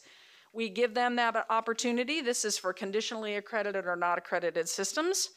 When that is complete, the new recommendation uh, is made to the state board. The ARC chimes in and says, yes, they did, or no, they did not. So the first month, we present the system to you all for review, and then the second month, uh, as your processes allow, we, we ask for action. So this system is, uh, has been awarded a conditionally accredited status. They have gone through their areas for improvement. They have proven to the ARC that they need to, uh, they, they're asking for a change in status. They've met the task, they've met the timelines, et cetera, and they've submitted that information to us at KSDE. So the ARC has reviewed the information. They make a recommendation as to whether or not they agree with that change of status, and then you all are involved with the process, and that's where we find ourselves today. St. Patrick's has said, we know what we needed to do, and we feel that we have done that. And I'm actually going to let Jeanette step in for a moment and talk with you specifically about this particular, uh, the work that this, this school has done for the ARC. Thank you, Michelle. Good morning, board. Good afternoon, isn't it? Okay, yeah. That tells you what my day's been like. That's right. Um, glad to be here. Let me talk to you a little bit about St. Patrick Elementary. They came into KESA uh, in a year three process, which means if you, many of you may recall, and for those that are new, we brought in systems in a staggered approach, meaning they could choose which year they wanted to enter the KESA process. Because St. Patrick Elementary was also doing a joint process with Cognia, which is a regional accreditation agency, and they were already a year three with them, they decided to come in KESA as a year three. So their accreditation year then was in 2019 and 2020. When they were reviewed by the ARC at that point in time, they were given a recommendation of conditionally accredited, and they went through the appeal process. When they went through the appeal process, at that time, the ARC found three areas of improvement for them. Uh, through the appeal process, they were able to satisfy two of those, and then one of them they were not. So they were then brought to you as a state board in September for a conditional accreditation. You reviewed them, and in October, then you took action to approve and grant that conditional accreditation. I went ahead of myself. Okay. So, of the three areas for improvement that they had, Uh, one of them was systemic use of data to support foundational structures. The other one was about resource capacity for long-term sustainability. And the last one was implementation of an individual plan of study. Like I said, they satisfied during their appeal both the first with regard to the foundational structures and support, and then of resource capacity for long-term sustainability. What they did not or were not able to prove at that point in time was that they did have an implementation plan for their individual plan of study. So they have worked on those areas, and in January, they provided us with documentation for their individual plan of study and brought information to this to the ARC with regard of that. Now, uh, when they give information, they do it via our KESA application, and so they upload artifacts to be able to substantiate the work that they're doing. And so that's what the ARC takes a look at, that documentation.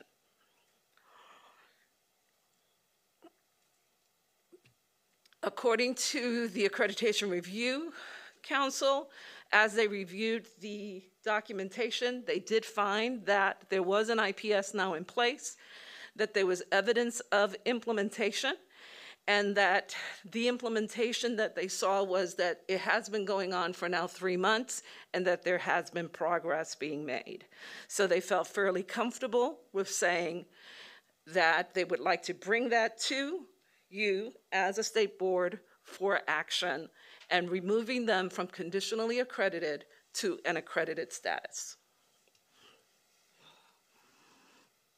Questions? Ben? No, Janet. I'm Thank- just accustomed to calling on you. See? Thank you, uh, Mr. Chair.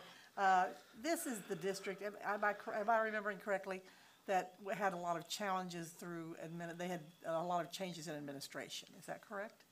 That Uh, was- they, the, um, yes, their principal was fairly new. Um, Yes. had been there only one year. That's what I thought, you know, so, anyway, well, uh, can I go ahead and make the motion? You may. Okay, uh, I would move that the Kansas State Board of Education accept the recommendation to change the accreditation status of St. Patrick Elementary from conditionally accredited to accredited and, and commend them on making the changes that, ne- that were necessary. Thank you. Is there a second to that motion? Jim McNiece seconds that motion. Further discussion? Jim? Thank you, Chairman Porter. Uh, Jeanette, thanks. Hi. This is good. Thank you. You know, when you consider, um, how many years ago was it when we started KESA? Wasn't I don't, it was yesterday. before my time. What's that? It was before my time with No, when KESA. we renewed it, we, you know, just stop. I thought you came Um, with the building. One of the big issues in the accreditation before KESA, at, at, as we have it today, was the fact that everybody just got accredited. Mhm. You know, you showed up, you did your deal, you know, and then they found a way to massage it and send it in, and everybody was, you know, accredited. And one of the things, especially in the legislature and out in the communities, was the fact that people had concerns and issues that you guys just rubber stamp it. And so far, we've seen we're not just rubber stamping them. We're challenging people to be better. You know, and I have to say that uh, I'm personally really pleased that I can say that, you know, we're holding people's feet to the fire and, and um, we're not just rolling over and letting them be accredited without meeting our standards. And I want to, appreciate the work that you guys are doing to do that, because it's pretty hard to go back to a school and say you're, you're conditionally accredited, or you know what, you might not get any. You know, Mhm. that, those are tough conversations. And I applaud St. Patrick's for taking the high road and going after it the way they have and, and meeting the, the credentials, you know, to be accredited. So it's a win-win situation for all. And, uh, but I appreciate your leadership in doing this, and I realize the tough job that you have in making that happen. So thank you. Thank you. And as much as it hurts me, I'm going to publicly agree with Jim. Thank you.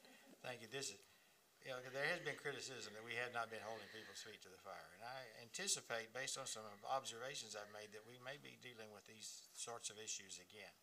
That's correct. We're gonna vote, and I have a question that's sort, not related to St. Pat, but related to the process. Okay. All in favor of the motion, please raise your hand. All opposed? We have conditionally accredited a few schools already. Uh, Do you know whether or not any of the others are in the process of coming back to us for change? Yes. Um, so if you may recall, when the areas for improvement are stipulated, they are given a timeline in terms of when they're supposed to have this information back. And the timeline really depends upon the type of work that they need to do. So at this point in time, in April, we're supposed to have um, one district coming back. And then in May, we have another district coming back. So I would probably say between May and June, probably you'll be receiving two additional changes if the ARC agrees with, with the recommendation. Okay, thank you very much. And now we're going to receive preliminary information regarding system pause from KESA, and I believe we have the same two people. Uh, I'm back up this time. All right, Well, Eric. On my list, it says Jeanette first. so. I'll be patient, Eric, and let you. You're having multiple opportunities to practice patience today, Michelle. Every day, Chairman Porter. Um, that's not the, that's not the one, I'm sorry.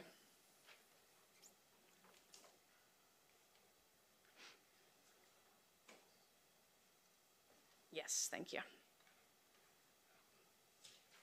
Thank you. Thanks. Thank you, Eric. Wow, thank you so much. So, Chairman Porter, members of the board, Commissioner Watson, thank you. If you, let me take you back just a little bit to uh, sort of when we found ourselves in this opportunity of, of learning with a, a worldwide pandemic. So in October of 2020, you all approved public and private systems to have a choice of pausing their accreditation year and just taking a deep breath and uh, really trying to recognize the difficulty of the situation. So the state board at that time said, uh, we'll give you this one-year opportunity and directed KESA staff to have systems uh, report out to you on their academic and their social emotional progress. So we have taken a uh, snapshot in January of that opportunity. We'll provide you with final findings in July, uh, a final report to you all. These are the types of things underneath academic and the social emotional needs that we are going to be asking those systems. We've collectively run these questions by. We have until April 1st to finalize them. We're really trying to look at the academic and the social emotional as you directed and and uh, find a good way of reporting that back to you. And, and we're, we're really close. We've asked for staff input. Dr. Watson gave us some input on these questions as well. Preliminarily, as I said, we started uh, with a, a large conversation in January on a monthly normal update, and we asked the 280 folks that were participating with us across the state to answer some questions for us uh, specifically related to why did you pause? Why didn't you pause? Tell us about your local assessment measures. Remember, there were no state assessments uh, in 2020. So this gave them an opportunity to really think about that piece too. And how were you measuring your social emotional concerns, not just for your students, but for your staff as well? And to also talk a little bit with us about the evidence based programs that they were using. So, for example, what prompted your decision? We heard responses such as lessen the burden on our staff, focus on the needs at hand of dealing with the pandemic. We've had a plethora of staffing changes, and we really need to go back and give more thought and conversation to our data. The not pausing themes were maintain momentum. We did have several who said, no, thank you. We're fine. We're going to keep moving forward to maintain our continuous improvement momentum. Uh, in person, a lot of these systems were in person, so they really didn't see a need to pause. And they just felt like in, in the cycle, they were, it was advantageous for them to keep moving forward preliminarily preliminary findings on the academic area questions what were your data sources it was amazing to me when we uh, last spring and there were no state assessments I, I, had to pull some folks down down out of the out of the off the cliff it's okay you've got local data i know you do so you'll be all right So we asked them, what's that data telling you? And then what are you using? And these were our findings. Some of these things you heard Dr. Watson mention this morning as ways of measuring uh, data in the district. These are their academic pieces. ASQ, uh, FastBridge, map testing, uh, you have uh, pathways, you have Ames Web, DIBELS, et cetera. These are some of the data sources that were reported back to us. This data is split out by elementary, middle, and high school students, and we were curious about what data at these levels, what was the data telling you? Have you had that change? Have you had a loss? Have you had an overall decline? Where are you? Interestingly enough, the majority of the respondents said we've had some improvements and we've had some declines. And I appreciate the honesty of folks who said this was January, we've not yet gotten to that data piece yet. You. Preliminary findings on the social emotional piece. I, I, I so appreciate the board's effort to not just recognize uh, the work we need to continue to do with students, but the, that our teachers as well have had challenging social emotional uh, opportunities throughout this last year as well. So we ask how they were addressing those needs of staff and students. Tell us about the data, and then what is that data telling you? Again, divided out on elementary, middle, and high. Has your system addressed the needs? Most, the majority of them said yes, yes, we have. And there are a few folks who said, nope, we, we've not taken that opportunity yet. And we divided it out into we've embedded it, we use an evidence based curriculum, and then we also do our best to assess the culture and climate factors and the social emotional well being of our staff and students. Which evidence based curriculum are you using? You can see here that a lot of folks in the field are using Second Step. And this was just of those folks who were available to us in January.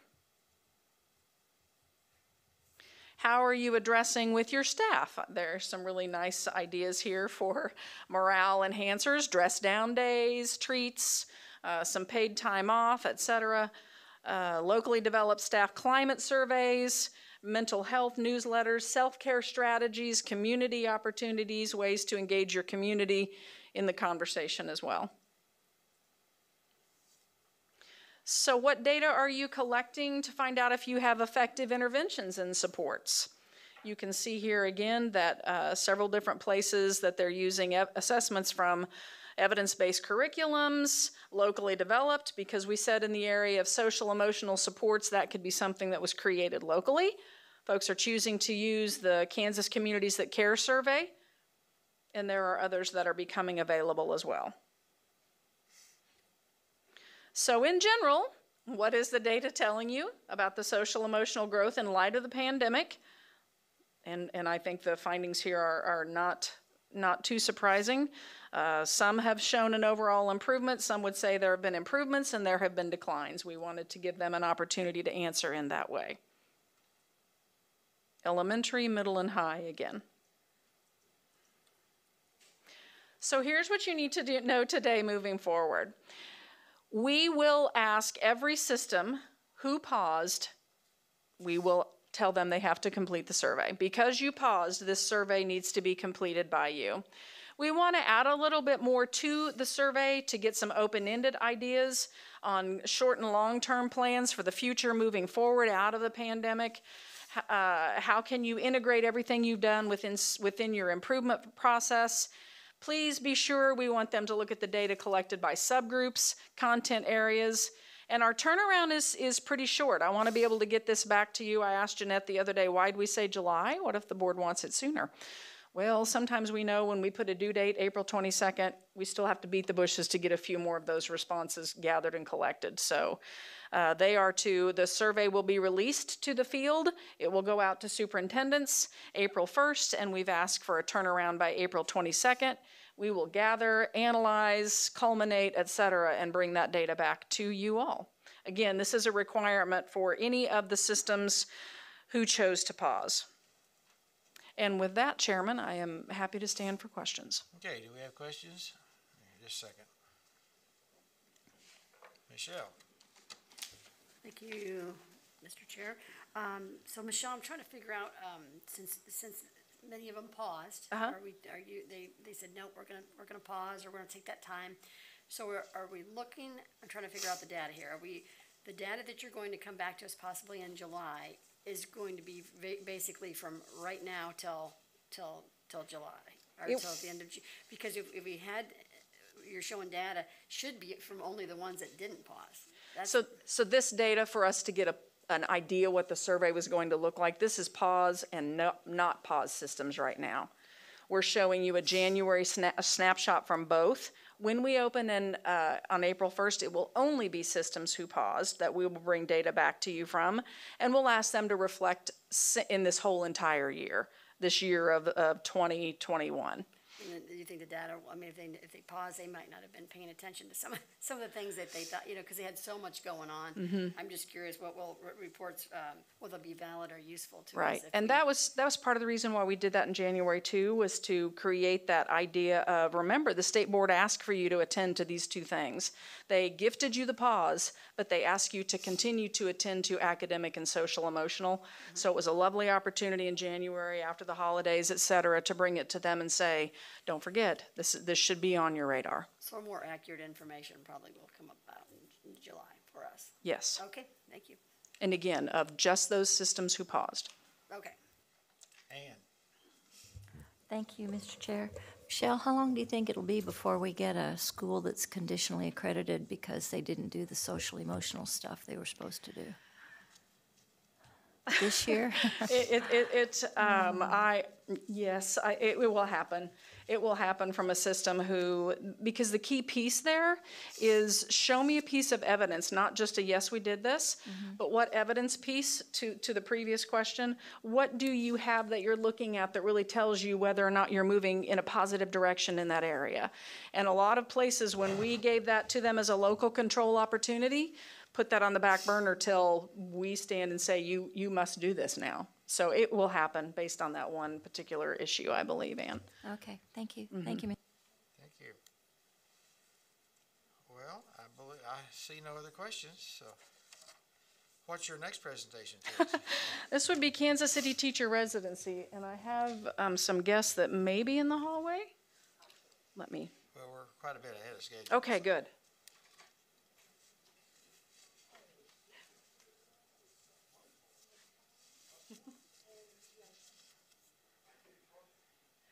Thank you, Eric. So do you have five more presentations? or- No, I believe this is my last one. Thank you for your kindness while I'm in front of you. Hi. Hello. Welcome. How are you? I am well. Do you have Dr. King with you? He He's parking, okay. Would you like to? I believe I can. I believe I am I'm thoroughly equipped. Okay, I think you probably are. Good to see you.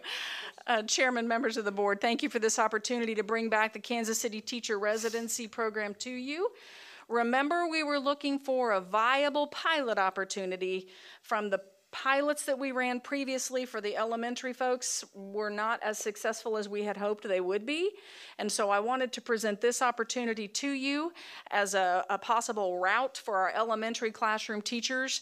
Just as a, a piece of bringing you back to this, this is a lengthy residency partnership opportunity and uh, two guests with you. Dr. King is obviously parking the car. Andrew is here, and I think he can follow through with this. You're just going to use right here, Andrew. I know you know what you're doing. And then be more than happy to answer any questions that you all have about that. Absolutely. I'll watch for him too. Of course, thank you. Welcome, Um, Andrew. Good afternoon. Um, thank you all so much again for your time.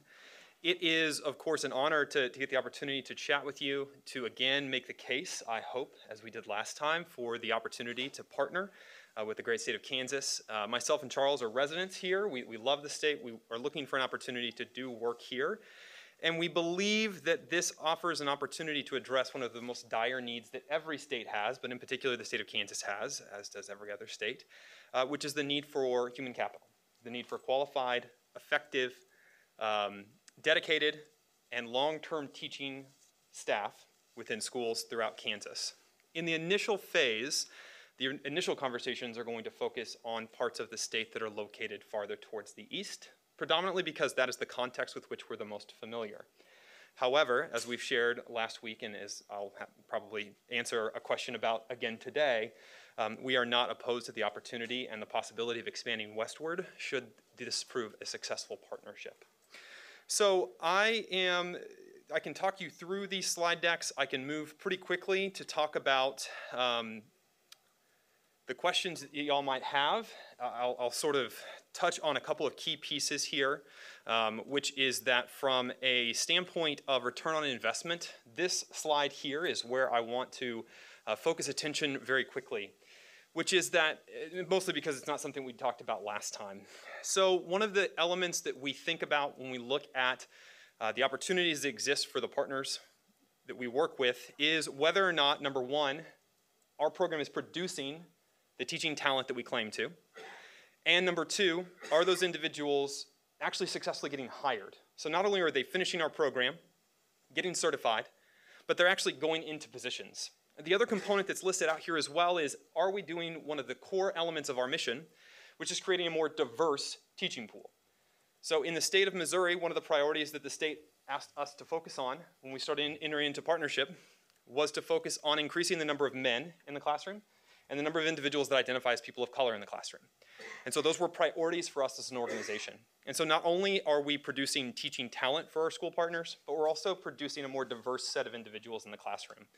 Um, I hope that this, I, this idea resonates already, but representation can make a big difference for kids. I don't know about the rest of you, but when I was in school, I had a very limited number of, of teachers that were men. If they were, they were oftentimes coaches, one or two of them. And there are a number of issues that young men need to have addressed and have the opportunity to discuss with an adult that if they don't have male teachers, they may not have the opportunity to do so. We know that the same idea holds true for individuals identified as people of color. There's a unique set of opportunities and a unique set of challenges that exist for all different identities. And having that identity in front of you on a daily basis can make a big difference. This is just something that we sort of focus on as an organization that we're successful in accomplishing. The biggest thing here is that this is the data that we put in front of district partners when we offer ourselves up as a partner in, in pursuit of human capital, which is that we are able to produce the teaching talent that we claim we're able to produce. So we're not just saying, hey, give us a couple of dollars and we'll go out and try to make this happen. The, the claim that we're going to make is that you're going to afford us a teaching a fee for the resident placement process, and we're ultimately going to produce someone that's going to be hired into your district and stay.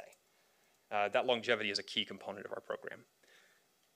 So the last thing I just want to touch on is, and I know we, we had the opportunity to talk a few weeks ago, um, so I won't belabor these things, but, but I do want to stress when we think about, um, and again, this partnership fee that we're discussing here is not something that we're asking the state to subsidize. This is something that we ask our partners within discrete districts to provide. Uh, but we specifically spend the finances that we do take in on recruitment, coaching, development, as well as providing a network for our participants. And these are components that we believe are critical in ensuring that we're able to produce talent and that we're able to retain talent, uh, specifically thinking about the coaching and development elements here. Um, so these are just a couple of quick, discrete ideas that I wanted to lift up for us. So I want to open the floor for any questions that this body might have, and I will do my best to answer them. Okay, Ann.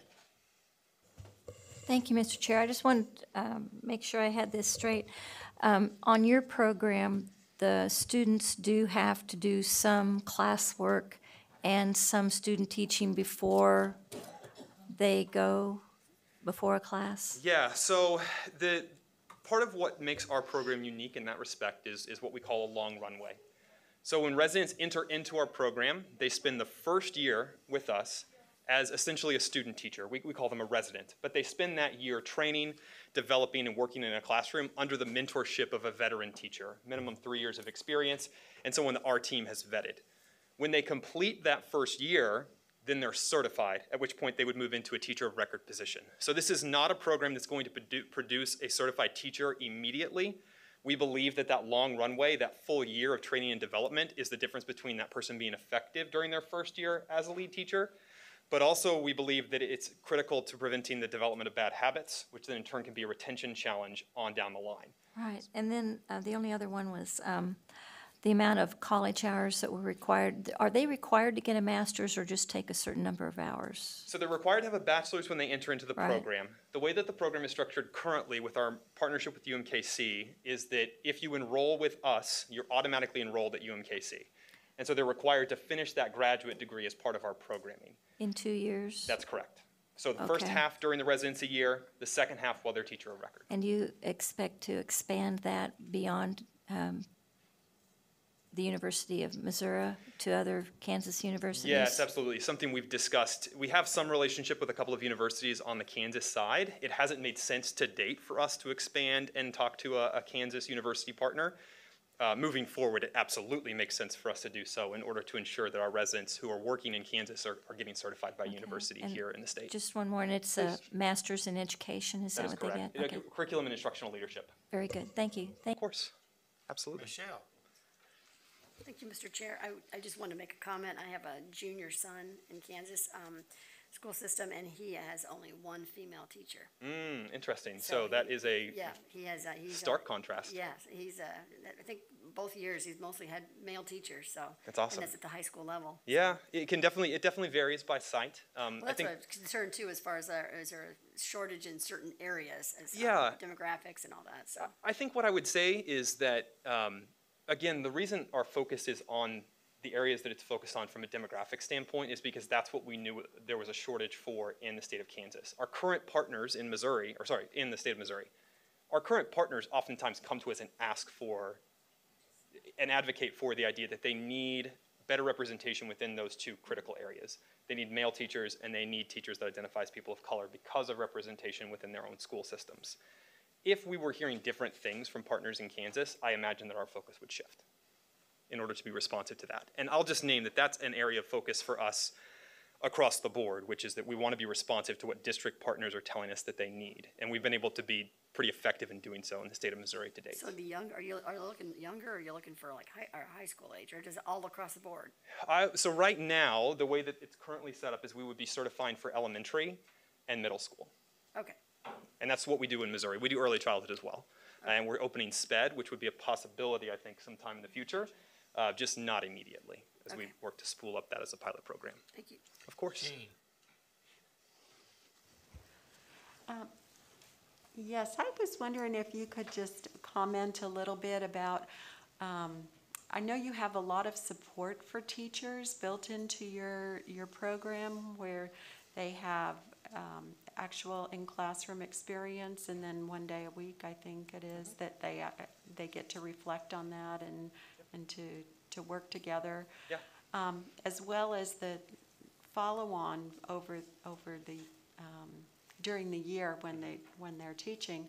Uh, Could you talk a little bit about that becau- and um, maybe your opinion of uh, how useful that mentoring piece is for your, the students or the teachers that are involved in that program? Absolutely. So I noted before that one of the things that we believe is critical to teacher success and retention long term is developing really strong habits from the very beginning of a teaching career. What I believe and what I've seen happen in my career and with my peers was oftentimes the first couple of years is a real struggle.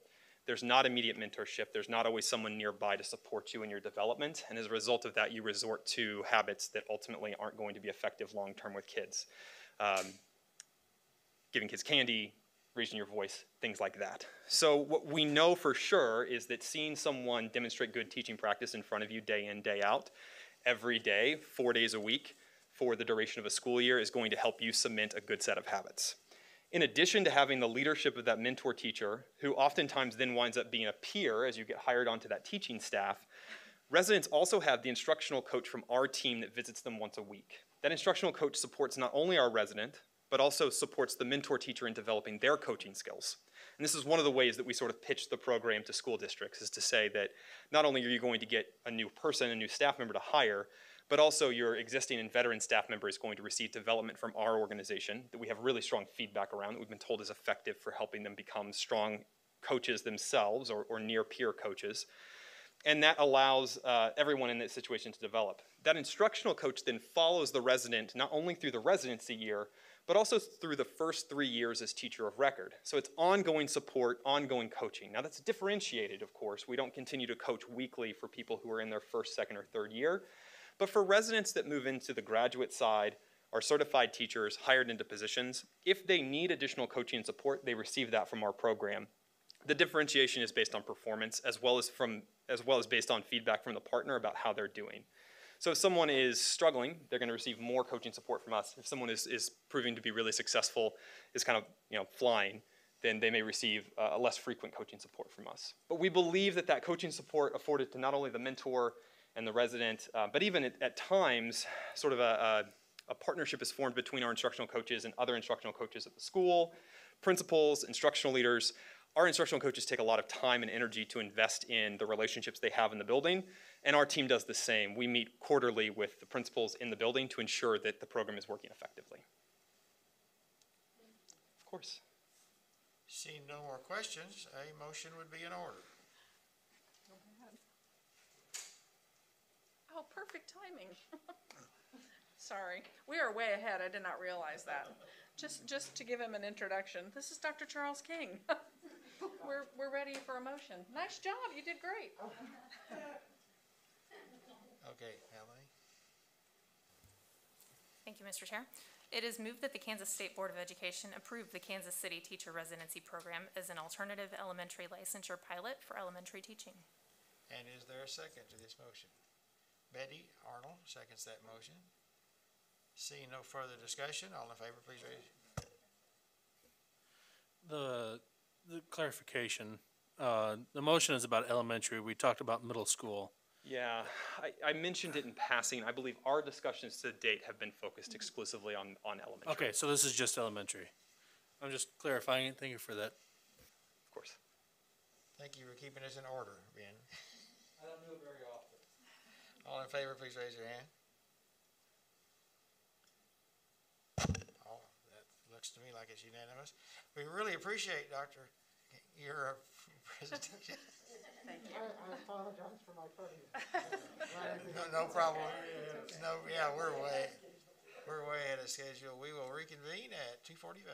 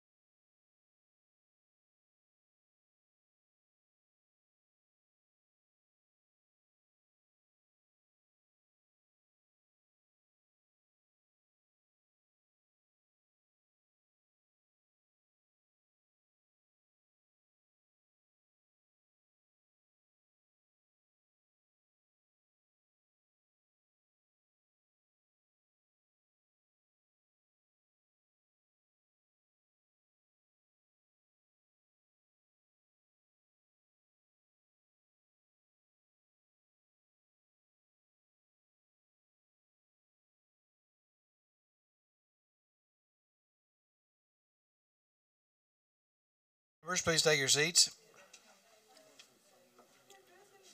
See, you responded immediately.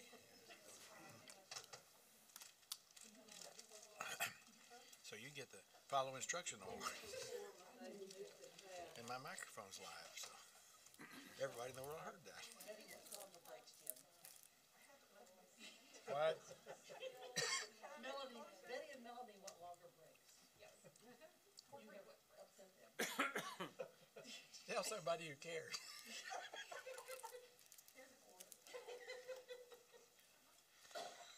Since we're so far ahead, we're going to adjust the uh, agenda because uh, the, the PPC is supposed to be virtual at three twenty-five, and so we'll have to wait for that, so we're gonna move on to item number sixteen. And Brad's gonna explain the West Elk decisions, situation.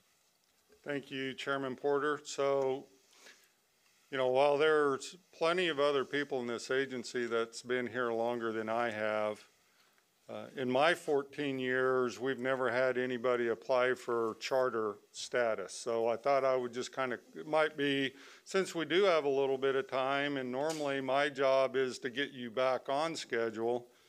Um, now that we take- have a few minutes. take forty-five minutes. Yeah, yeah. I just thought I could briefly explain, you know, the situation with West Elk, but then how it just kind of fits into a- more of an overall picture. So what West Elk uh, is wanting to do is really start a, a virtual school, but they want to do it more innovative than what you would traditionally consider a virtual school, which is why they also wanted to seek a charter school status. But to start a virtual school, they already had to apply for that, which they already have. That was, uh, the deadline for that was February fifteenth. So everything that they're wanting to do in their virtual program, they don't need to be a charter status in order to do. Uh, so when we met with them, um, I would uh, estimate the last time a district came to this board to seek charter school status, it was before virtual schools were really a thing. Charter schools are normally uh, an in-person environment where you want to do something different and innovative, and you want to be waived from one or more regulations in or, board regulations in order to go about accomplishing that go, that goal. Well, West Elk didn't have, they didn't want waived from anything. They had nothing that they, that there was a regulation preventing them.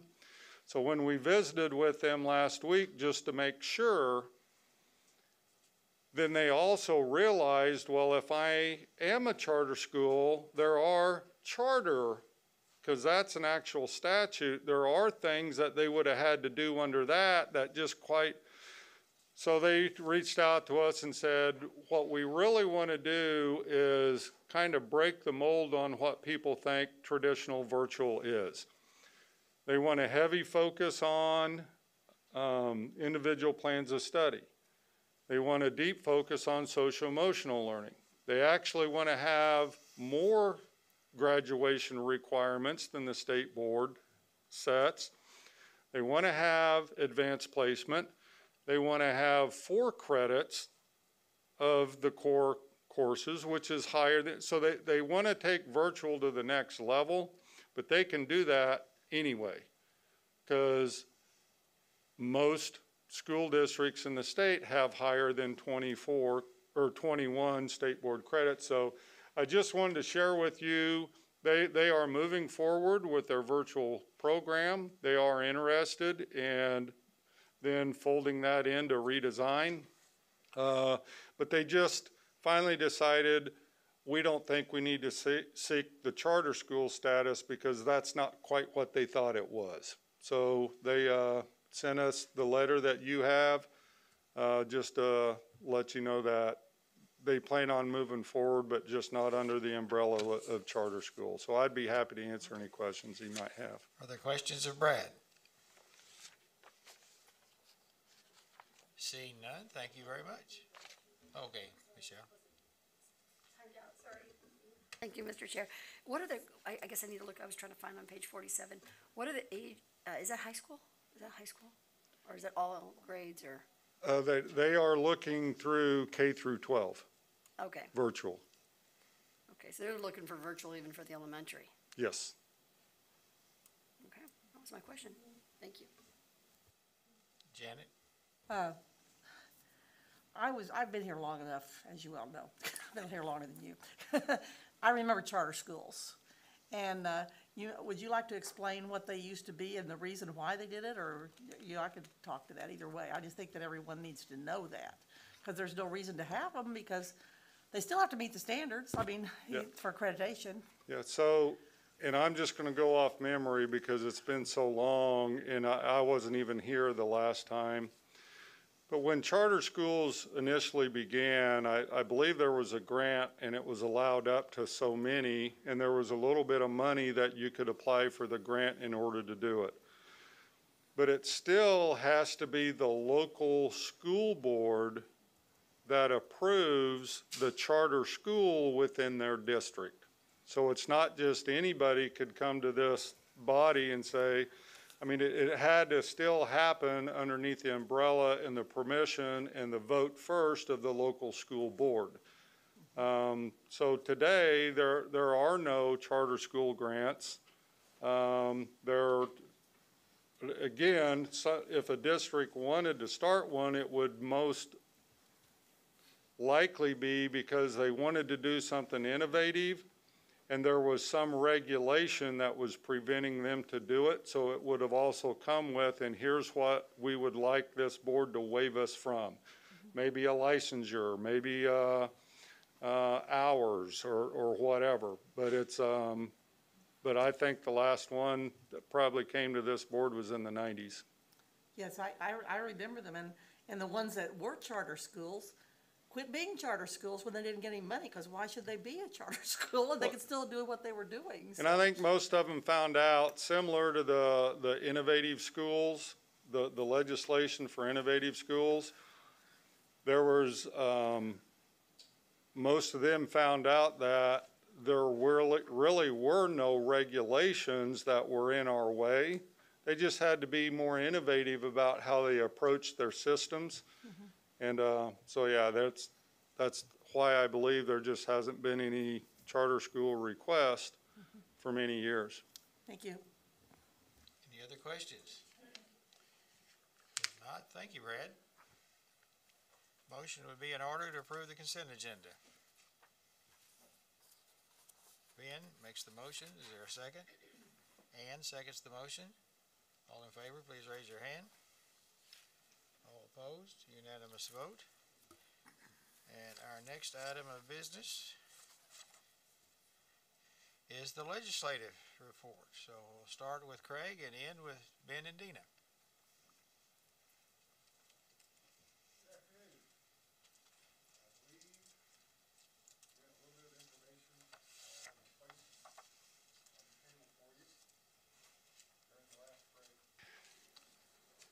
So the legislature is at turnaround. Uh, They have more or less completed the first half of their work. Bills theoretically had to pass the first house by the end of last week uh, if they wanted to continue for this session. But there are a number of ways bills can stay alive, and we'll talk about that just a little bit. Um, In fact, some will tell you no bill ever really dies. It can end up being amended into something later in the session. There are all kinds of ways that they pop back up. I just listed a few of them on the sheet for you. You have the full list of bills, which is a little shorter than it used to be because we have hit turnaround, and there are some bills that probably you won't see again, so we pulled those off the list. Uh, but there are some included on this, on the, uh, tracking sheet that have not passed the first house yet, but, uh, are still alive for a number of reasons. So a few just to highlight that I thought you might be interested in. House Bill 2039 is the one about requiring the civics exam for graduation. That passed the House, and so it will now move on to the Senate uh, after having been passed by the entire House. Uh, Senate Bill thirteen, I'm gonna come back to in just a second. Senate Bill two thirty-five is the bill uh, that requires schools to have an in-person option beginning March twenty-sixth and forevermore after that date. Um, That bill passed the Senate and is scheduled for a hearing on the House side in the K-12 Education Budget Committee tomorrow. Uh, So that was just added to that Senate's uh, schedule over the weekend, actually. Uh, And will be up for hearing there, and then they will work the bill sometime later and decide whether to move it to the floor of the House or not. So now I'll back up to Senate Bill 13. Passed the Senate, and it passed the House. It was amended in the House. We had not followed it real closely because prior to being amended in the House uh, late last week, school districts were not affected. The House amended school districts back into the bill. Uh, what it does is requires a great deal of work on the half, behalf of county clerks, as well as some other steps for municipalities, which now include school districts. The county clerk has to identify uh, what the bill defines as a revenue neutral tax rate for property taxes for all municipalities. The idea is when assessed valuations increase, even if you keep your mill rate flat, so if your mill rate for the district as a total was 51 mills last year and it's 51 mills again this year, if assessed valuation went up, you're still taxing people more. They're going to pay more taxes because of that valuation increase. So the idea behind this bill is you can't do that without explaining to people that that's exactly what's happening. Even though my mill rate's still 51 mills, I'm paying more taxes to this particular entity. So in order to accomplish that, the county clerk has to notify every district by June 15th of what their revenue neutral tax rate would be. Well, in order to do that, the county clerk has to know what the estimated assessed valuation is. That's a little earlier than they used to tell us. They used to tell us in early July. They were required to let districts and other municipalities know. Now they've got to tell them June 15th. The municipality, including the school districts now, has to tell the county clerk then by July 15th if they're going to exceed that amount. So by July 15th, school districts have to know if they're going to, what their mill rate's going to be for the coming year. Typically, they don't know that soon. They don't adopt their budgets until August. Uh, so this moves that clock up considerably. If they're going to exceed it, then the county clerk sends a notice to each individual taxpayer with how that will affect them individually. What will it do to your own tax levy uh, for each of the municipalities that are going to exceed the mill rate or the, the revenue neutral tax rate? So having cleared that July 15th time, timeline, then the municipality has to have a hearing no earlier than August 10th. That's not new for school districts except for the August 10th requirement. They have to have a, a hearing on their budget every year anyway. And they have to submit their budget to the county clerk by August 25th. Well, this bill leaves that requirement in statute, but also now says you have to have it, uh, you have to have your hearing no later than September 10th. Well, for a school district, you're not going to have your hearing in September if you've already turned in your budget in August. So it really hasn't changed the publication, notice of hearing, and hearing dates for school districts since August 25th to turn in your budget still in place. The only change is you cannot have your hearing prior to August 10th. And for many districts, they would have their hearing at their first board meeting in August, which might have been before August 10th. So they may have to have a special meeting to have their budget hearing under this particular statute now, if it becomes statute. And I think that's the majority of the changes. I've probably left something out. Um, it, it creates some unique situations, particularly for school districts. Uh, if you had a bond election, uh, so Uh, We've had a few this year, Shawnee Mission, Louisburg, some others. Your patrons have already voted and said, yes, raise my taxes to pay for this building. Now summertime rolls around and you're going to exceed your revenue net neutral tax rate because you had a bond election. Nevertheless, you've got to send out another notice to let everybody know that their taxes are going to increase, even though they already voted on it. For the first two, sending out all those notices, providing all the information is going to be quite a cost for some county clerks. For the first two years, the state covers that cost. After that, the municipalities involved have to pay for that expense to the county clerk's office. So if you're a school district and you passed a bond issue, you're now going to have to pay some of the cost to notify everybody again that you passed a bond issue and are going to raise taxes. Um, for any municipality, school district or otherwise, if you have a new industry open up in town, that's going to increase your valuation quite a bit. Your revenue neutral, you may exceed the revenue neutral tax rate because of that new industry, although the taxes for homeowners are going to decline. The overall tax rate went up, but you're going to be able to lower your, your mill rate and homeowners will actually pay less. But you've still got to send out a notice to tell them because the overall property tax rate went up.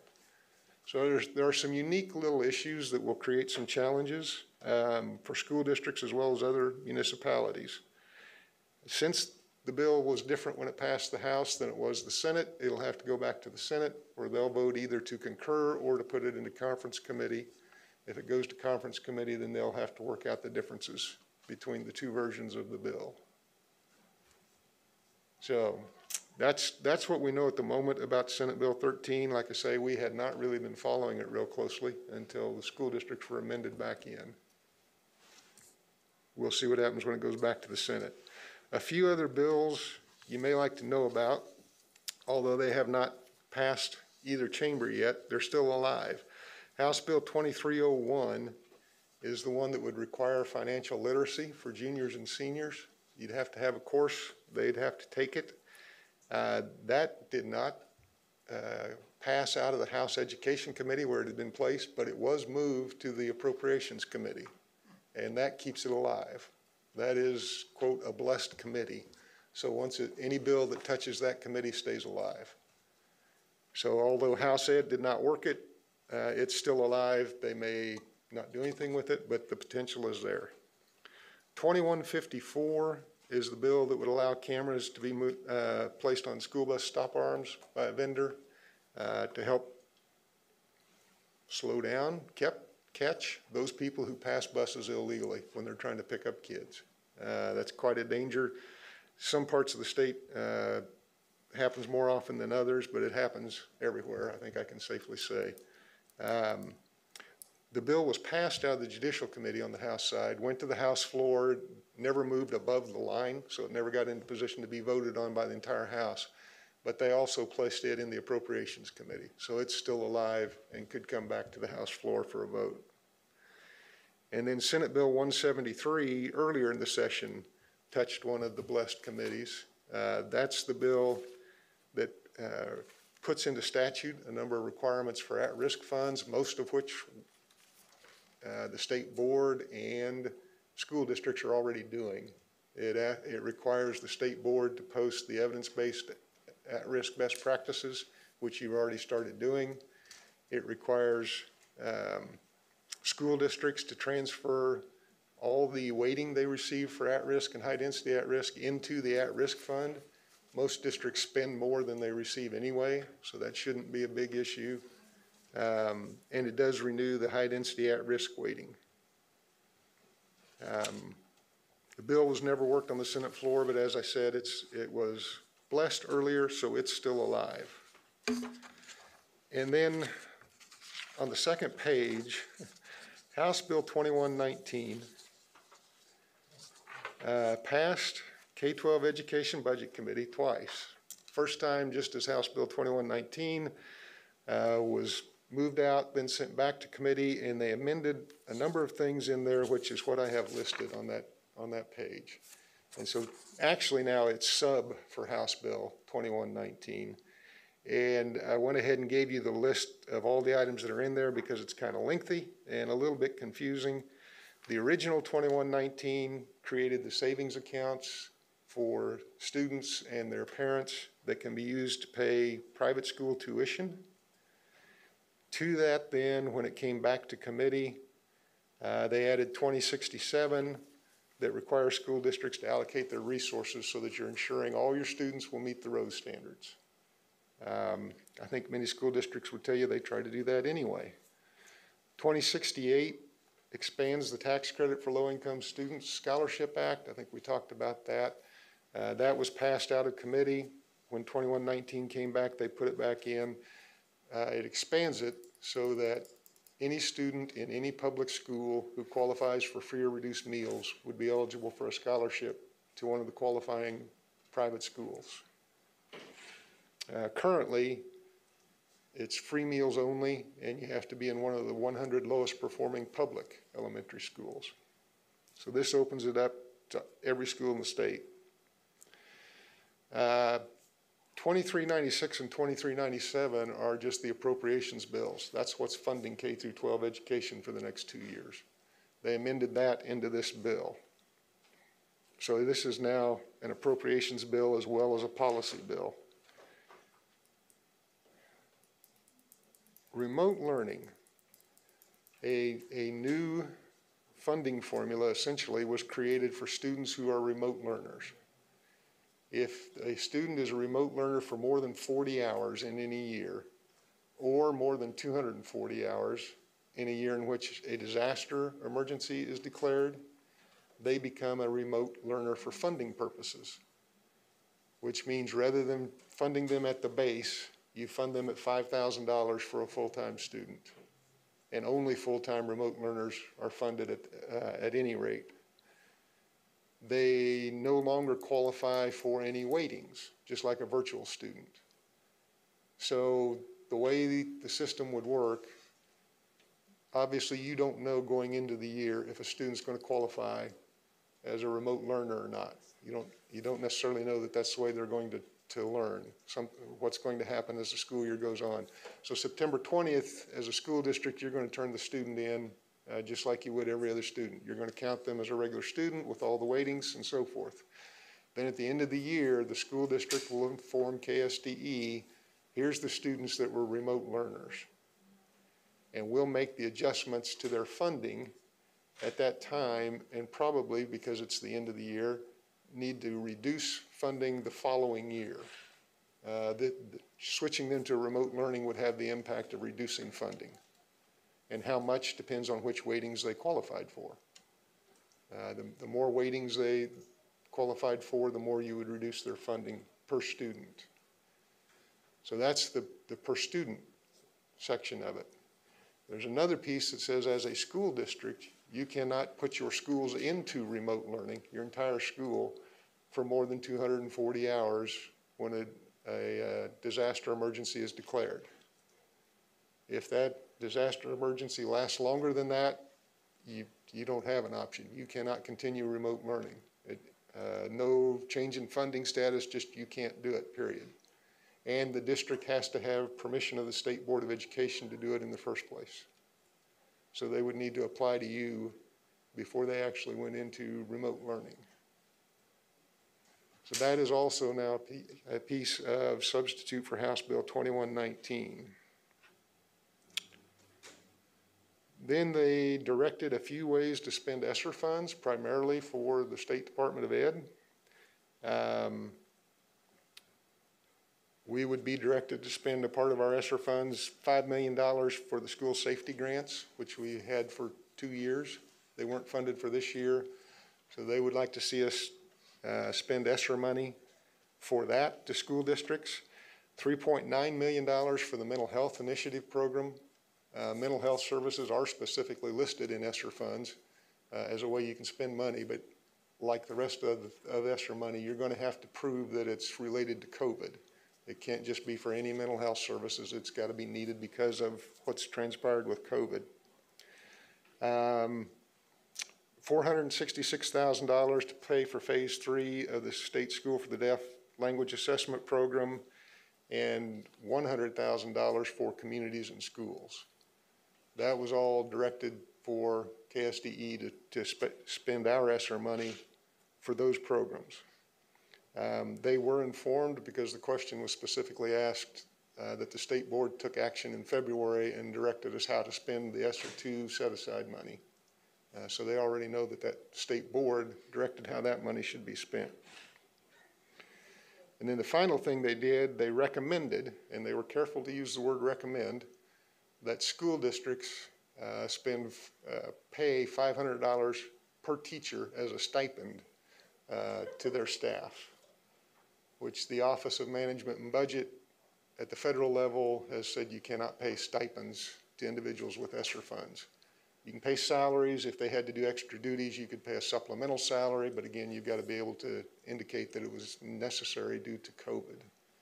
Uh, and I think, and this is just my opinion now, I think they were careful to use the word recommend because somebody, probably legislative research, made it clear to them they can't direct school districts how to spend their ESSER funds.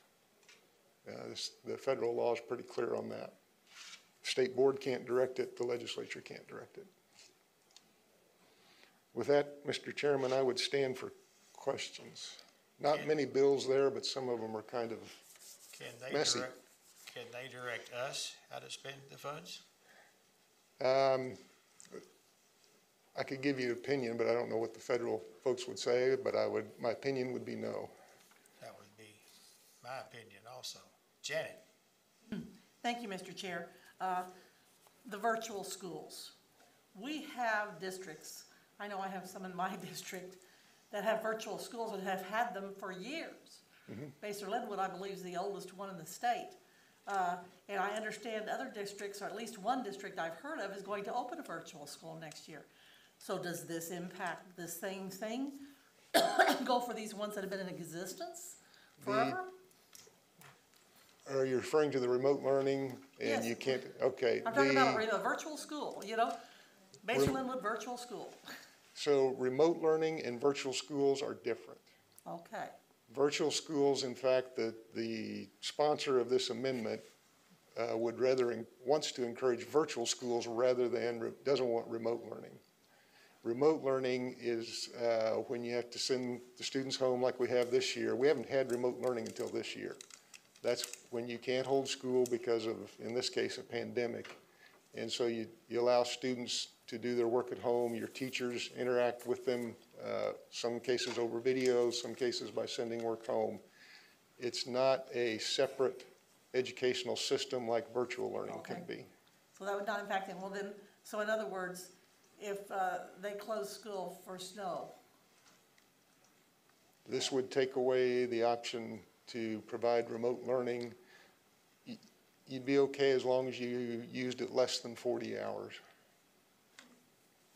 over the course of the year. Tornadoes? Uh, That's a good question, depending on when the tornado hit. If it came early in the year and there were enough hours left in the year, you could not go to, re- to remote learning to offset the time that you were losing. You'd have to make up the time some other way. Thank you. My interpretation of the bill. Thank you. Any other questions for Craig? Ben and Deena, you're on. Um, I, I think one of the important things is all, for House Sub twenty-one nineteen, it's, it's a huge bill, but all those individual bills in it have also been blessed individually uh, as well. So everything in there, if they decide that they have to break up twenty-one nineteen, everything within it is still alive, uh, as well. I was just double checking that my notes were correct on that. Yeah, good uh, point. In terms of that. Um, That's just an important point. I don't, uh, you did a really good job covering it, as always. I don't know that I really have anything to add info-wise. Um, in terms of that, I don't know, Deena, if there's anything worth adding? I've enjoyed the ex- extra long weekend with them going home. That was wonderful. Is now when you'd like for us to do our report? I, um, have, and Ben, have been writing and writing. Sometimes it's been um, kind of at the last minute that we find out a bill is, is not only was it just written, but, uh, it's being heard the, the next day. And they have guidelines that you're supposed to have the bill, uh, the testimony in twenty-four hours prior to the hearing. Sometimes they didn't give you twenty-four hours notice. So generally, they were understanding that you couldn't have gotten it in in that time, but we have written for just about all of the bills, except for those that, um, we didn't know were going to affect us. Uh, like Senate Bill thirteen, for example, it was an, uh, the ex, all exemptions were removed on the floor, so that removed uh, the school district and automatically, and so we, uh, had that issue just sort of pop up.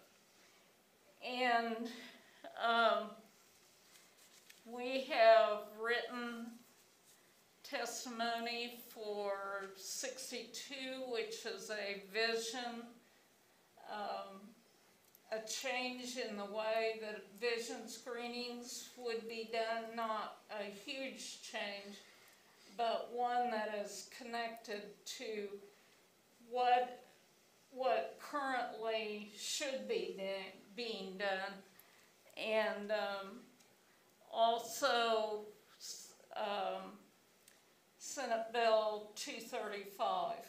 So, and we have written neutral on the, uh, vision screening because it wasn't something we discussed as a group, so, um, and two thirty-five, because it gets into, um, the responsibility of school boards, we oppose that, um, that legislation.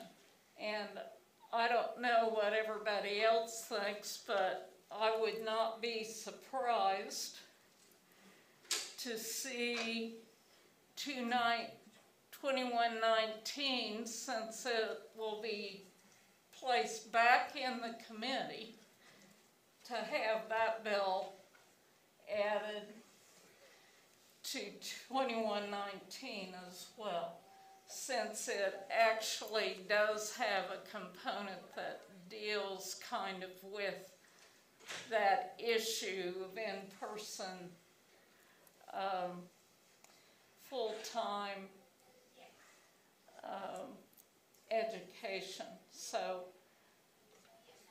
we're, so far, I've been basically online. I think Ben's maybe done some, he's done more specific phone calls to individuals that uh, he's had a relationship with and ones that I know um, are pro-education and um, I can't say that about all of them that I have in my district, so um, that will look at public education in, in a in the manner that we've been focusing on.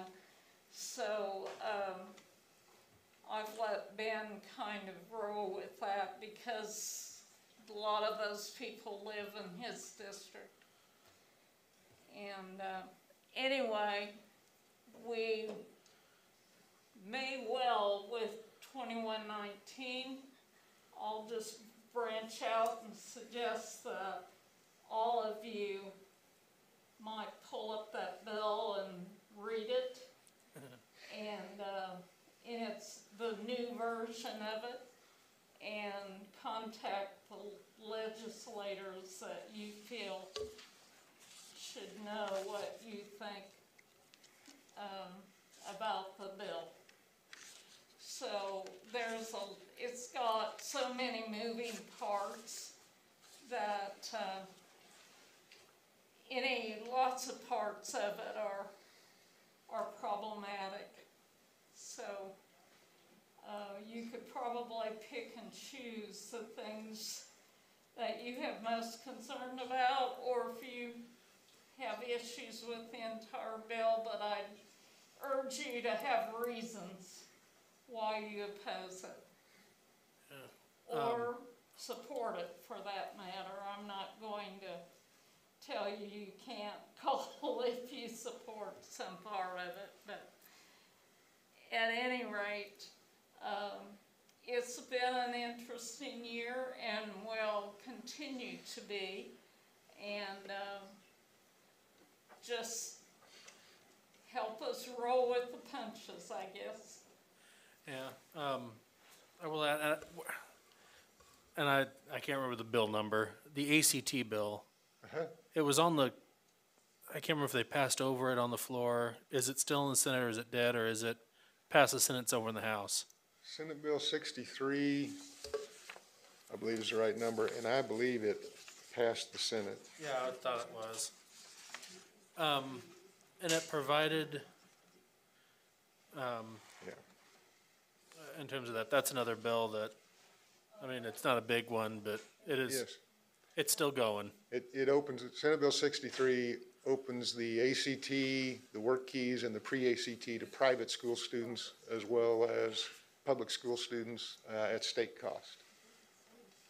And it does not at this point cost, cost any additional funds, correct?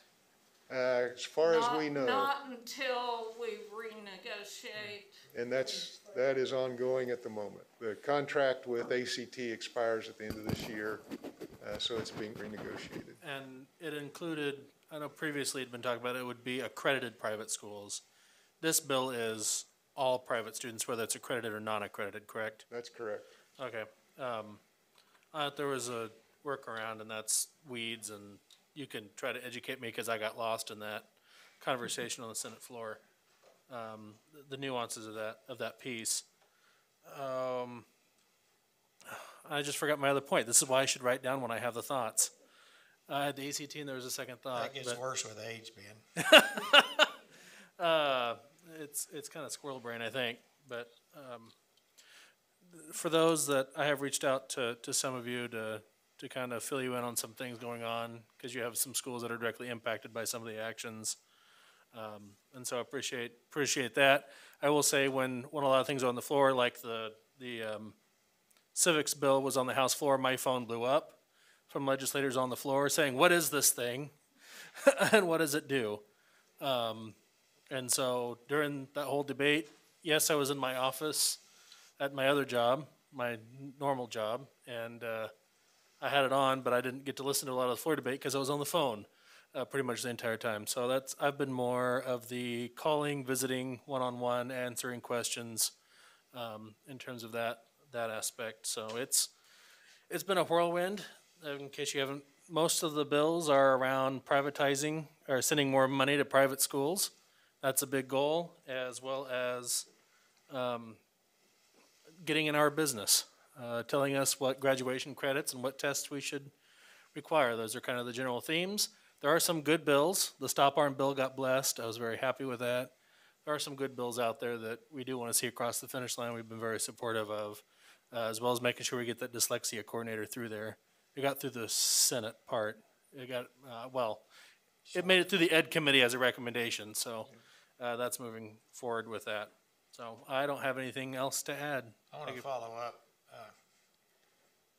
It appears to me that there are at least three, this is to all of us, this appears to me that there are at least three activities going on that directly impact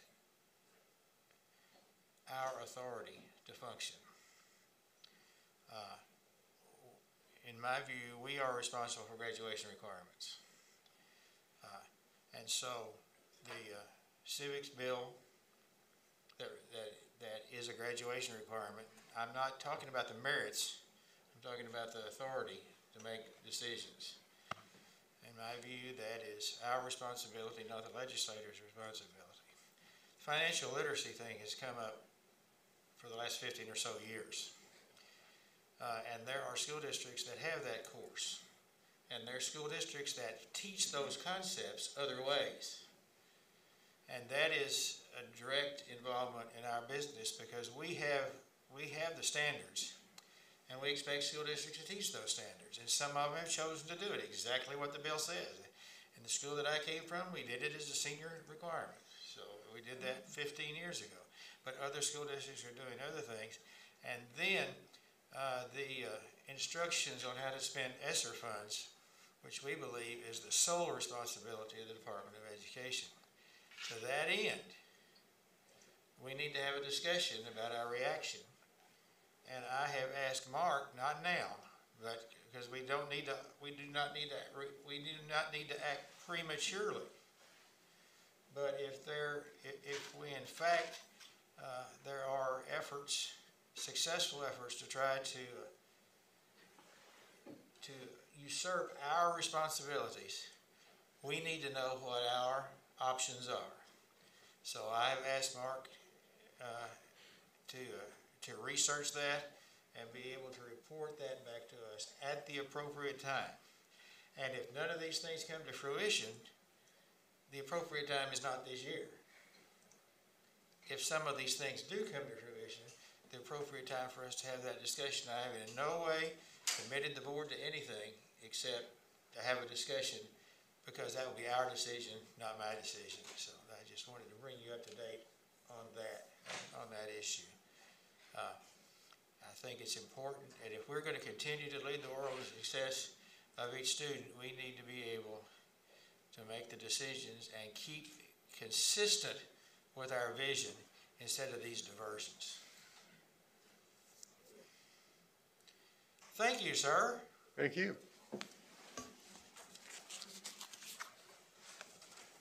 Do we have, uh, are we ready for the, oh, I believe it's item 15.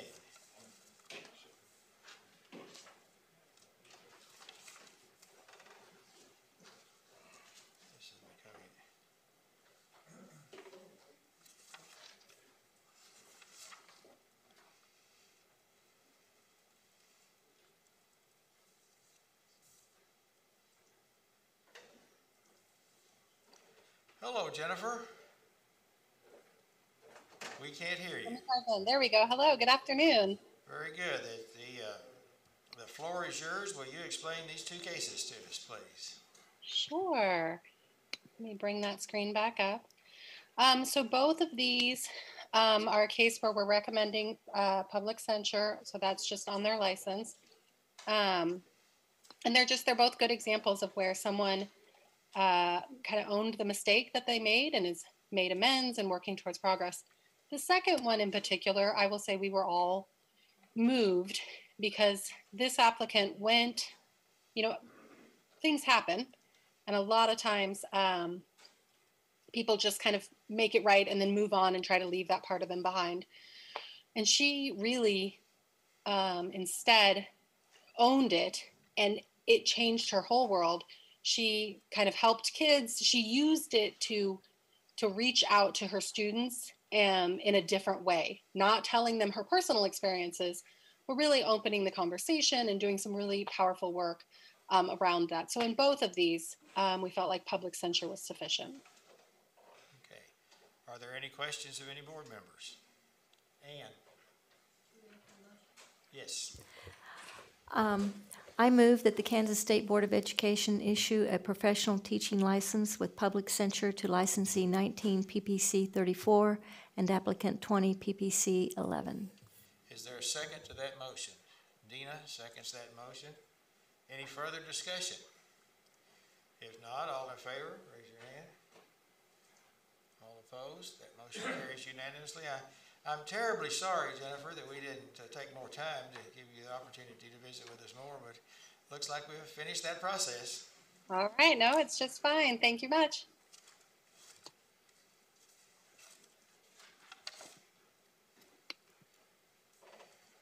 Now,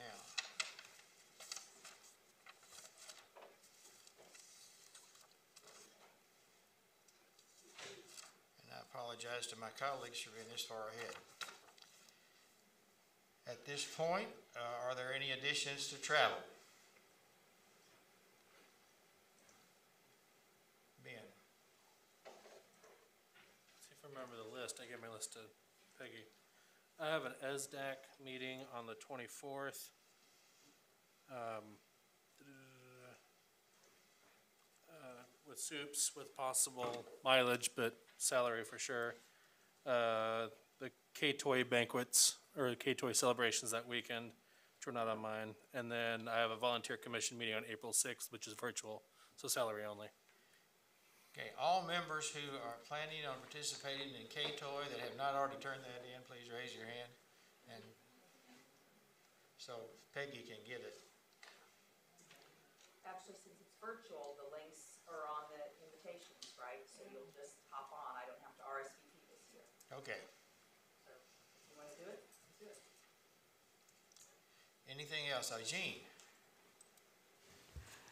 Yes, I have uh, superintendent council meetings um, in Oakley on Tuesday, April 6th, and on Wednesday in Sublette, um, April 7th for salary and mileage. And then I'm also attending a Zoom um, for the professional uh, standards board on micro uh, committee. I don't know if I need to mention that one. It's the same day as your interstate migrant. Yeah, it is. Okay. That's all. Okay, Anything else? Jim, is there anybody else doing the Rural Education Summit through K-State? 'Cause I have to register you for that. oh, this Yeah, week. register me.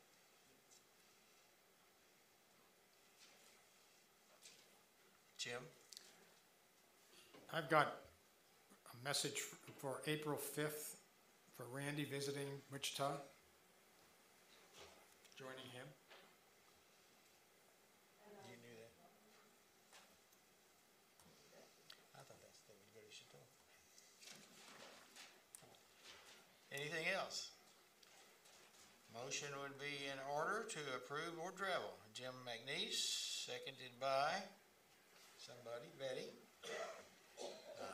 Favor, raise your hand. All opposed, motion carries unanimously. Committee reports, let's start with communications, Melanie and Jim.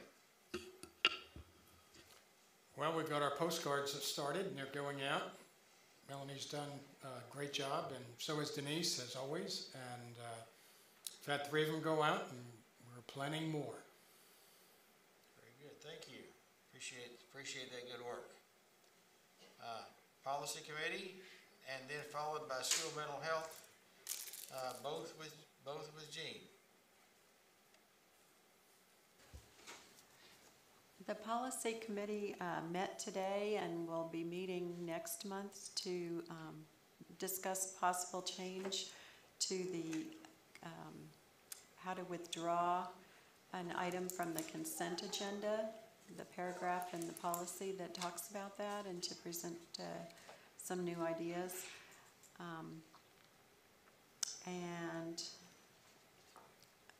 on the School Mental Health Advisory Committee, is that the one you had also mentioned? Yes. Okay.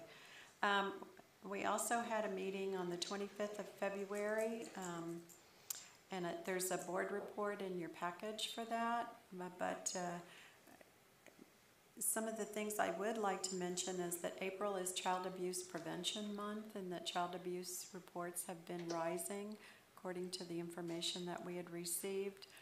And there was also a, concern about those students that had not re-enrolled um, this year that were on our rolls last year. Um, So there are some trainings being developed pertaining to child abuse and neglect. And uh, hopefully that, that'll help teachers and districts uh, deal with those things in a, in a, in a more effective way. Um, we also had Jane Groff discuss the career planning and digital citizenship resources that she had located in a Wisconsin school district. And those, uh, there's links to those in, in the board report. Um, it was really interesting the way they did that, and they did start digital citizenship uh, um, training for students at, at the third grade level, which was really younger than I would have suspected, but um, very effective in, in teaching young children what's uh, safe on the internet and what isn't. So um, I would encourage you to take a look at those. Um, the website that she found that the school district uses with, had really great explanations of all of that. It was all grade banded, there was curriculum in there, and it was uh, based on information from commonsense.org. Thank you. Okay, thank you. Are there any other committee reports?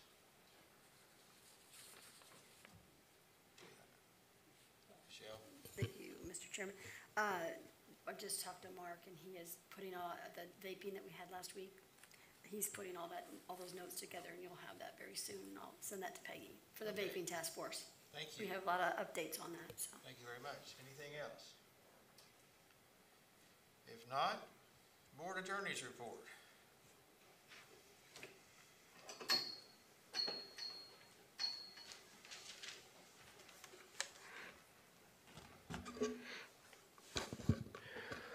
I sent out an email summary, uh, but I'd like to cover some of the highlights of the next steps following receipt of the final order that was issued by the Civil Service Board in the matter of the appeal uh, related to an, uh, an employee. And I'm not going to get into the, any strategy issues or um, disclosure of, of things that, uh, you know, we'll be discussing in, uh, later this week with John Harding and his team. But um, I think it's important to, to share with you kind of what's involved in the uh, next steps uh, should he decide to, to uh, want to appeal that. Uh, The findings of the Civil Service Board are highlighted in the email with regard to uh, uh, the, the finding that the decision of the appointing authority, which is the School for the Blind, was unreasonable and was reversed. The Civil Service Board did find that the employee violated the Civil Service Act based on his conduct and essentially uh, reversed the suspension, or excuse me, the termination and uh, renamed it a, um, a suspension for 30 days um, and reimposed or reinstated the employee to the position. Uh, Neither party was assessed costs or, or fees i- in the case. And so um, there's a couple of steps that um, are provided for, can rest, request reconsideration uh, of the uh, order of the uh, Civil Service Board. We can um, uh, request the, uh, that the written order be issued um, and that the, um, the Civil Service Board uh, take a different outcome. However, in this case, it was unanimous from those board members, so that uh, even though that may be one of the steps, is probably unlikely to be as successful.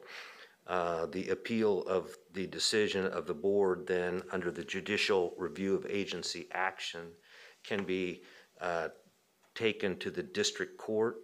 And um, so the Civil Service Board is the administrative remedy of the, either the agency or the, um, in this case, the School for the Blind, which is the appointing agency or the employee. They go through that process, they exhaust their administrative remedies, and then if either party is unsatisfied with the outcome uh, of the board, then the, um, the um, party that wants to appeal can appeal to the District Court of Shawnee County where the uh, order was issued. Uh, We would then uh, request a record or a transcript of the two and a half day proceeding um, before the board, which, which was a trial where witnesses were put on and cross-examined and evidence was, was uh, presented.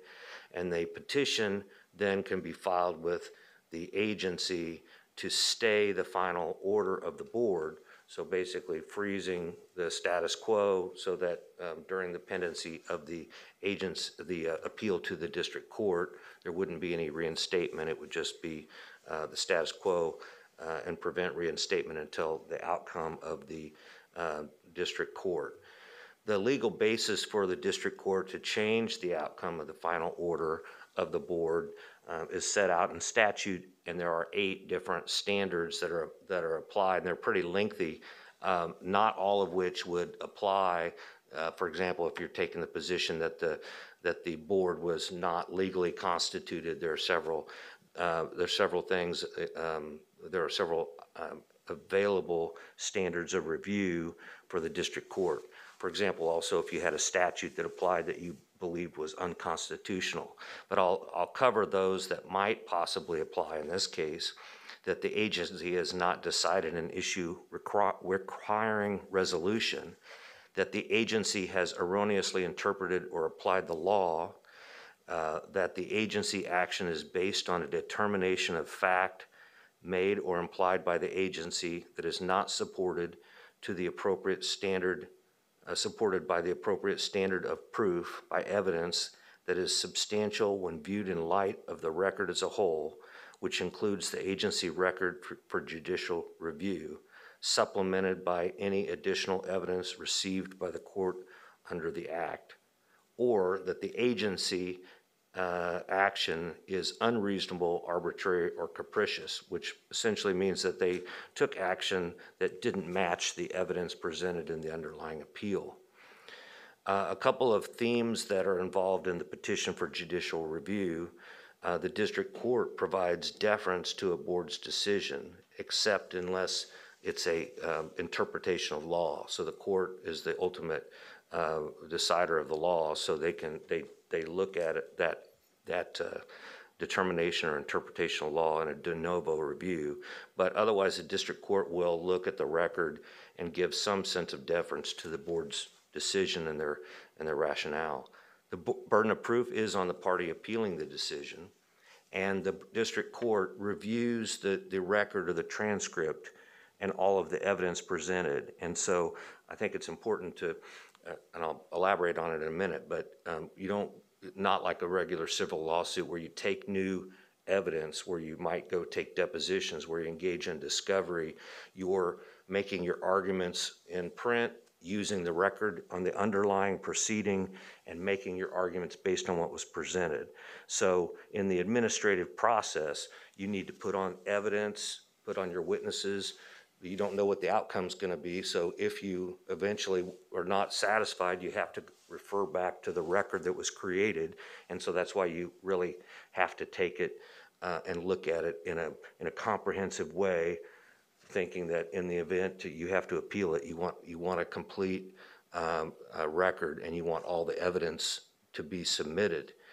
Um, the district court may not ignore contrary evidence. So if it looks like, you know, wasn't a balanced consideration, um, then the district court has to look at and justify its decision to either uphold the underlying decision or to, um, uh, to um, reverse it, but must look at uh, mitigating and enhancing circumstances, and that the court considers the, does consider the concept of harmless error. So the court can say, well, this, I, I agree with your appeal. I, you know, that, that was done incorrectly, but it doesn't change the outcome of the decision. So that's a legal concept that the district court has.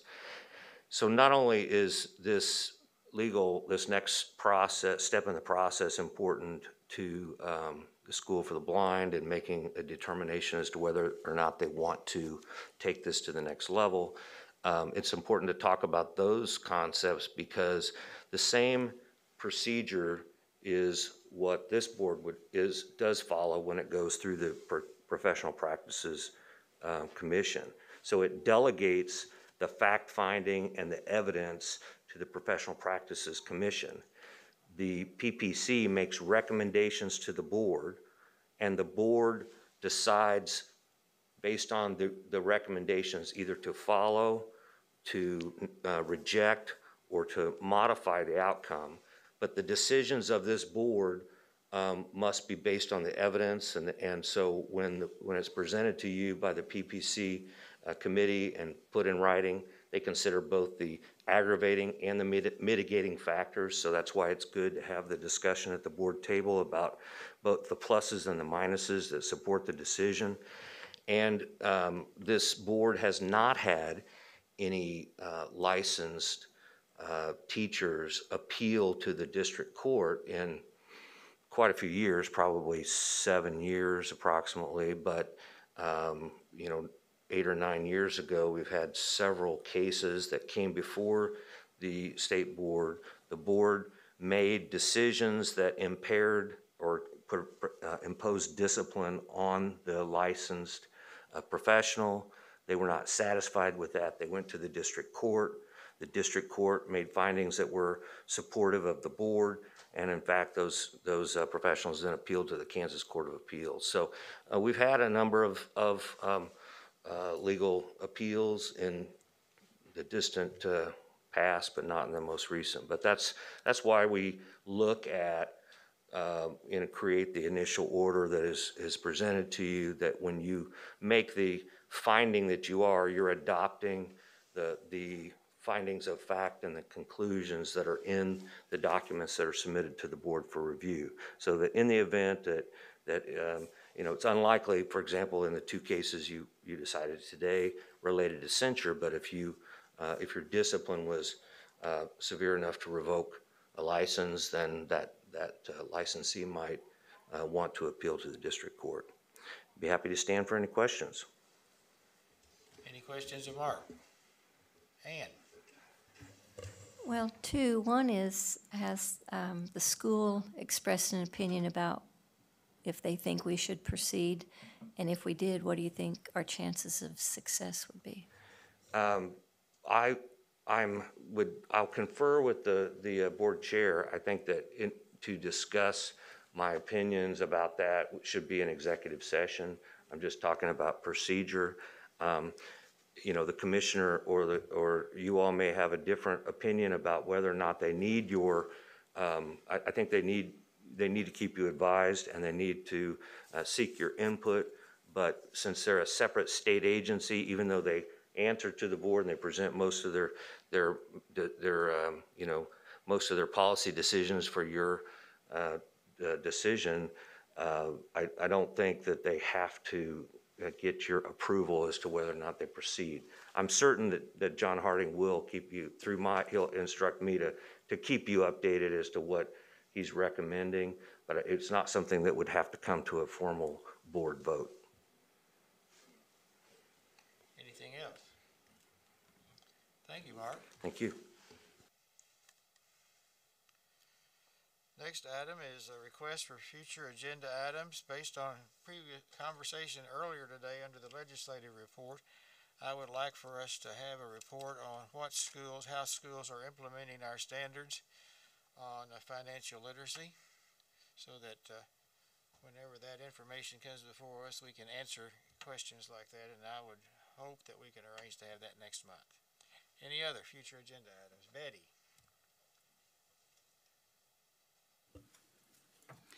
Um, yes, I would like, and, and I don't have an end date, but a presentation on student transportation. One of the things that's kind of come up within my district is that uh, there are a lot of grandparents who are now parenting um, students, um, and they don't drive, and, and so there are challenges with getting their elementary um, age uh, students that's in their care to school. And I'd like to look at uh, a way that, um, or rather how that's set up. The, the, the second thing, um, I love the document Navigating Next. I mean, it, I've read it a couple of times, really, I have. And I would love a presentation, since Navigating Next is a reality, of how that was put together and, and how the concerns were, were um, highlighted in that. I think it would be a great opportunity for the public to see a lot of the positive things that are being done. And that concludes both my requests. Any more? Uh, Deena? Thank you. Um, I get a number of education journals, and equity seems to be a big issue um, in those journals. And I belong to the Delta Kappa Gamma locally, and we recently had a, a program on equity councils. And, um, I thought it would be good probably for this body to hear what districts are doing to promote equity in their districts.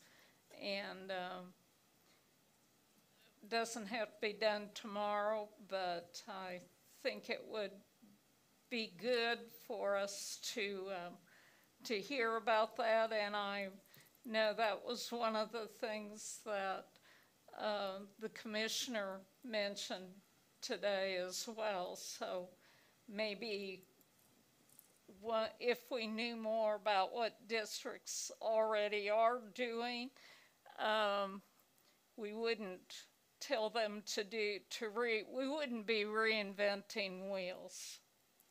Okay, thank you. Thank you. Anything else? Uh, Michelle?